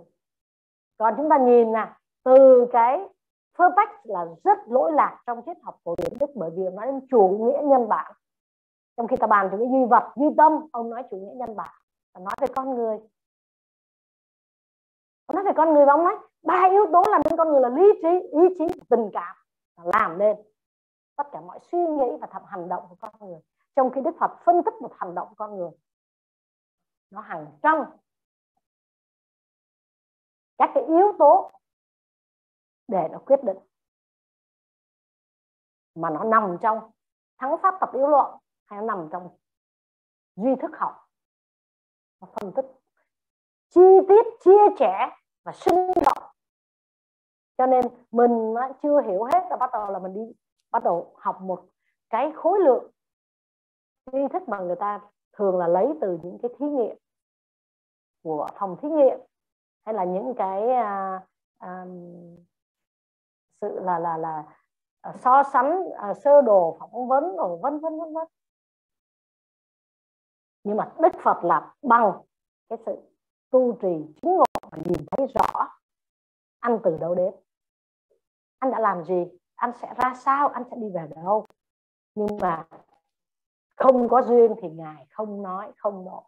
Còn có duyên ngài sẽ hướng dẫn cho chúng ta cho nên, riêng về với phơ là phải nói, thuyết căn bản của phơ là thuyết nhân bản. Cho nên Hegel là chủ nghĩa duy tâm duy tâm chủ quan. À mà nói đến là can, là phê phán. Mà nói đến phơ là chủ nghĩa nhân bản đặc trưng. Mỗi ông làm nên một cái sự màu sắc đa dạng của nền triết học cổ điển đức. Chứ mình không thể nói mình chấm ông là number one, ông này là là là là là second one mình cũng không chấm được. Mình không thể chấm điểm ông nào được vì mỗi ông đều có những cái xuất sắc, những cái cái cái cái tư duy, lý luận. Tuyệt vời. Cho nên các mác mới nói các triết gia từ trước tới giờ giải thích thế giới bằng nhiều cách, mà vấn đề là giờ biến đổi nó các mác thì nói nhiều cách bây giờ mình phải biến đổi cái thế giới này như thế nào. Nhưng thật sự cái bản chất thế giới này là luôn biến đổi. Và mình tác động cái yếu tố gì gọi là duyên đó. Để cho nó biến đổi theo chiều hướng tốt đẹp. Biến đổi có nhiều cách. Hoặc thiện hoặc ác hoặc hạnh phúc hoặc khổ đau. Đó là chúng ta sẽ thấy cái tư duy. Ờ, còn nhiều triết gia khác nữa nha. Đó còn Nietzsche tuyên bố thượng đế đã chết còn Schopenhauer là ông là một cái người ảnh hưởng rất sâu sắc về triết học Phật giáo. Nhưng mà thôi thì hôm nay chúng ta dừng lại ở ba nhà triết gia tiêu biểu này. Chúng ta hiểu thế nào là biện chứng và sẽ thấy duy vật như thế, duy tâm như thế, nhân bản như thế và mỗi người đều có cái hay của họ. Bởi vì họ thoát thai từ những cái giai đoạn triết học khác nhau. Họ sinh sau đẻ muộn, nhưng mà họ rút tỉa trên cơ sở biện chứng để đưa ra một cái hợp đề nào là tuyệt vời nhất đối với họ nhưng như là con đã trình bày với lớp. Cái hợp đề này nó sẽ có những vấn đề trong cái hợp đề. Để tiếp tục đưa ra chính đề phản đề và tiếp tục là một sự vận động lý luận triết học. Không ngừng. Để rồi đâu sẽ là chân lý. Thôi thì giờ học của chúng ta đến đây tạm kết thúc. À, con sẽ gửi tài liệu cái phần triết học của đến đức cho quý thầy với sư cô. Con thấy nó hơi dài quá. Siêu hình học là cái thực tại tối thượng về một sự vật. Đó là từ đâu? Nó do ai? Từ đâu nó đến? À nó siêu hình học là cái không giải thích nổi. Thì triết học phương tây, cổ điển đức là giải thích cái siêu hình học nó như thế nào. Cái siêu hình học đó trong quan điểm Phật giáo là như thế nào? Chứ mình không bao giờ nghe Đức Phật dùng những cái từ đó. Phật là một nhà, một bậc giác ngộ, một bậc đạo sư, tri hành hợp nhất. Các triết gia phương tây đều là cái nhà toán học, nhà vật lý học, thiên văn học, các nhà bác học lỗi lạc, kỳ tài, những cái từ, cách dùng thuật từ của họ cũng mang tính chất toán học, siêu hình học hiện chứng đều là toán học học hết. Cho nên cái tư duy của họ rất là khoa học và chính xác. Bởi vì lệch một chút là có thể sập cái nhà, lệch một chút có thể tiêu tan pháp rất chính xác, rất khoa học. Mình cũng phải tiếp thu những cái minh triết phương tây hay như vậy và phương tây, ngưỡng mộ phương đông cái gì họ học. Của đức phật rất nhiều, và giờ sau chúng ta sẽ nhìn thấy qua hình tượng Chopin Hour học đạo Phật cái gì. Từ một triết gia phương Tây, học đạo Phật như thế nào. Bởi xuất phát từ cuộc đời ông quá vô cùng đau khổ. Khi tiếp cận được Phật giáo thì chính ông là một cái người hiếm hoi trong cái thế giới các triết gia cổ điển Đức đã là gì? Đã đón nhận cái lời dạy của Đức Phật như là một cái cứu tinh trong cuộc đời rồi Nietzsche mà ông tuyên bố thượng đế đã chết thì khẳng định cái giá trị nhân bản cái trách nhiệm của con người với chính hành vi của bản thân mình. Chứ không phải ông chê bai một ông thượng đế nào đó hay là khẳng định không có thượng đế mà khẳng định cái trách nhiệm của con người đối với hành động cái suy nghĩ cái việc làm của chính mình mình không thể đổ thừa cho ai. Đó, thì chúng ta gặp nhau là một cái cái nhân duyên để mà gặp nhau mình nói những cái điều minh triết thông thái trong cuộc đời cũng là một nhân duyên. Nhưng có những cái hội chúng gặp nhau chỉ nói vậy thôi. Tại ai? Không phải tại anh cũng không phải tại em. Chính của chính chúng ta, nhân quả của chính mình mà chiêu cảm, cái thế giới đến với mình. Nên mình hãy trân trọng những cái gì? Tinh hoa của trí tuệ. Còn bây giờ cũng có những cái cách gặp nhau nhưng mà nó đau khổ lắm, và nó đó rồi bây giờ biết bao nhiêu là tệ nạn xã hội biết bao nhiêu nhiều điều đau khổ gặp nhau trong cái cái thế đối lập trong chiến tranh nên chết chóc ly tán bi thương gặp nhau trong sự khủng bố tàn hại hãm hiếp cũng là gặp nhau à, trong sự tranh luận chê bai chỉ trích mà gặp nhau trong sự chia sẻ truyền tải những cái nền minh triết của đông tây. Nó đều là do chúng ta mà ra cả. Mình tạo ra thế giới của mình và điều này chúng ta phải đồng ý với Hegel. Đó. chúng ta phải đồng ý với Hegel là cái tiến trình của thế giới này nó biến dịch không ngừng, nó là một toàn thể thống nhất. Và cái sự thay đổi là do yếu tố tinh thần của con người. Tức là Hegel gặp cái quan điểm của Phật giáo rất là nhiều điểm. Nhưng mà qua ông Perfect thì ông khẳng định cái chủ nghĩa nhân bản cũng không phải là sai. Nếu nó chủ nghĩa nhân bản mà không có tư duy, nếu mà nó một người điên đi, họ biết gì nữa cho nên ông khẳng định là lý trí, ý chí, tình cảm là quan trọng nhất thì cũng rất là đúng trong một cái tư duy của phương tây. Rất là đúng. Mình sống là mình có lý trí không? Hay là mất lý trí? Mất lý trí là chúng ta không có gì để nói với nhau. Mình có lý trí. Rồi mình ngồi đây học được nè. Học tiếp, học mấy tiếng đồng hồ là phải có ý chí. Hồi xưa học có 90 phút là nghỉ. Bây giờ từ hồi mà mình chuyển vào trong cái cơ sở hai là toàn học. Bốn tiết không à. Phải có ý chí mới ngồi chịu đựng nổi. Thấy không nào có mấy thầy nói chuyện với nhau mà mình nghe được. Sao chịu tra tấn mấy tiếng xong rồi hả? Đó cho là sự tra tấn. Và nếu không có ý chí, mình không chịu được được. Với cái tình cảm, mình sống cái cuộc đời này, cái tình cảm của mình là gì? Thương, ghét, hận, thù. Đó. rồi chê bai tám tháng đều xuất phát ở cái tình cảm con người. Cho nên ông cho rằng những yếu tố đó nó làm nên giá trị căn bản nhất của con người nhưng bây giờ mình quay lại cái sự phân tích của Đức Phật với cái lộ trình tâm thì nó hàng trăm yếu tố mới đưa đến một hành động, một lời nói, suy nghĩ hàng trăm yếu tố. Nó chia sẻ, nó phân tích chi tiết hơn rất nhiều. Nhưng mà dù sao đi nữa, chúng ta cũng thấy các nhà triết gia phương tây gọi đây giai đoạn triết học chuẩn mực là mình cũng phải xem tại sao mà họ treo là quần chuẩn mực. Thì giờ mình biết đó biện chứng nói có lý luận, có chính đề, có phản đề và hợp đề là gì? Chẳng hạn như là ông đã phá chủ nghĩa duy vật, chủ nghĩa duy tân ông đưa ra chủ nghĩa nhân bản. Nó không có con người, chẳng có cái gì hết. Ông phải đưa ra. Cái chính đề là như vậy. Rồi cái phản đề ông là sao? Rồi hợp đề là như thế nào? Các nhà triết gia đức đều là những nhà biện chứng lỗi lạc, mà cuối cùng là các mác nhưng mà các mác lại là một nhà duy vật biện và cuối cùng chúng ta quay trở về cái bậc đạo sư của chúng ta để thấy là mình quá là hạnh phúc. Bây giờ học đến đây là xin được kết thúc, tại chúng ta hồi hướng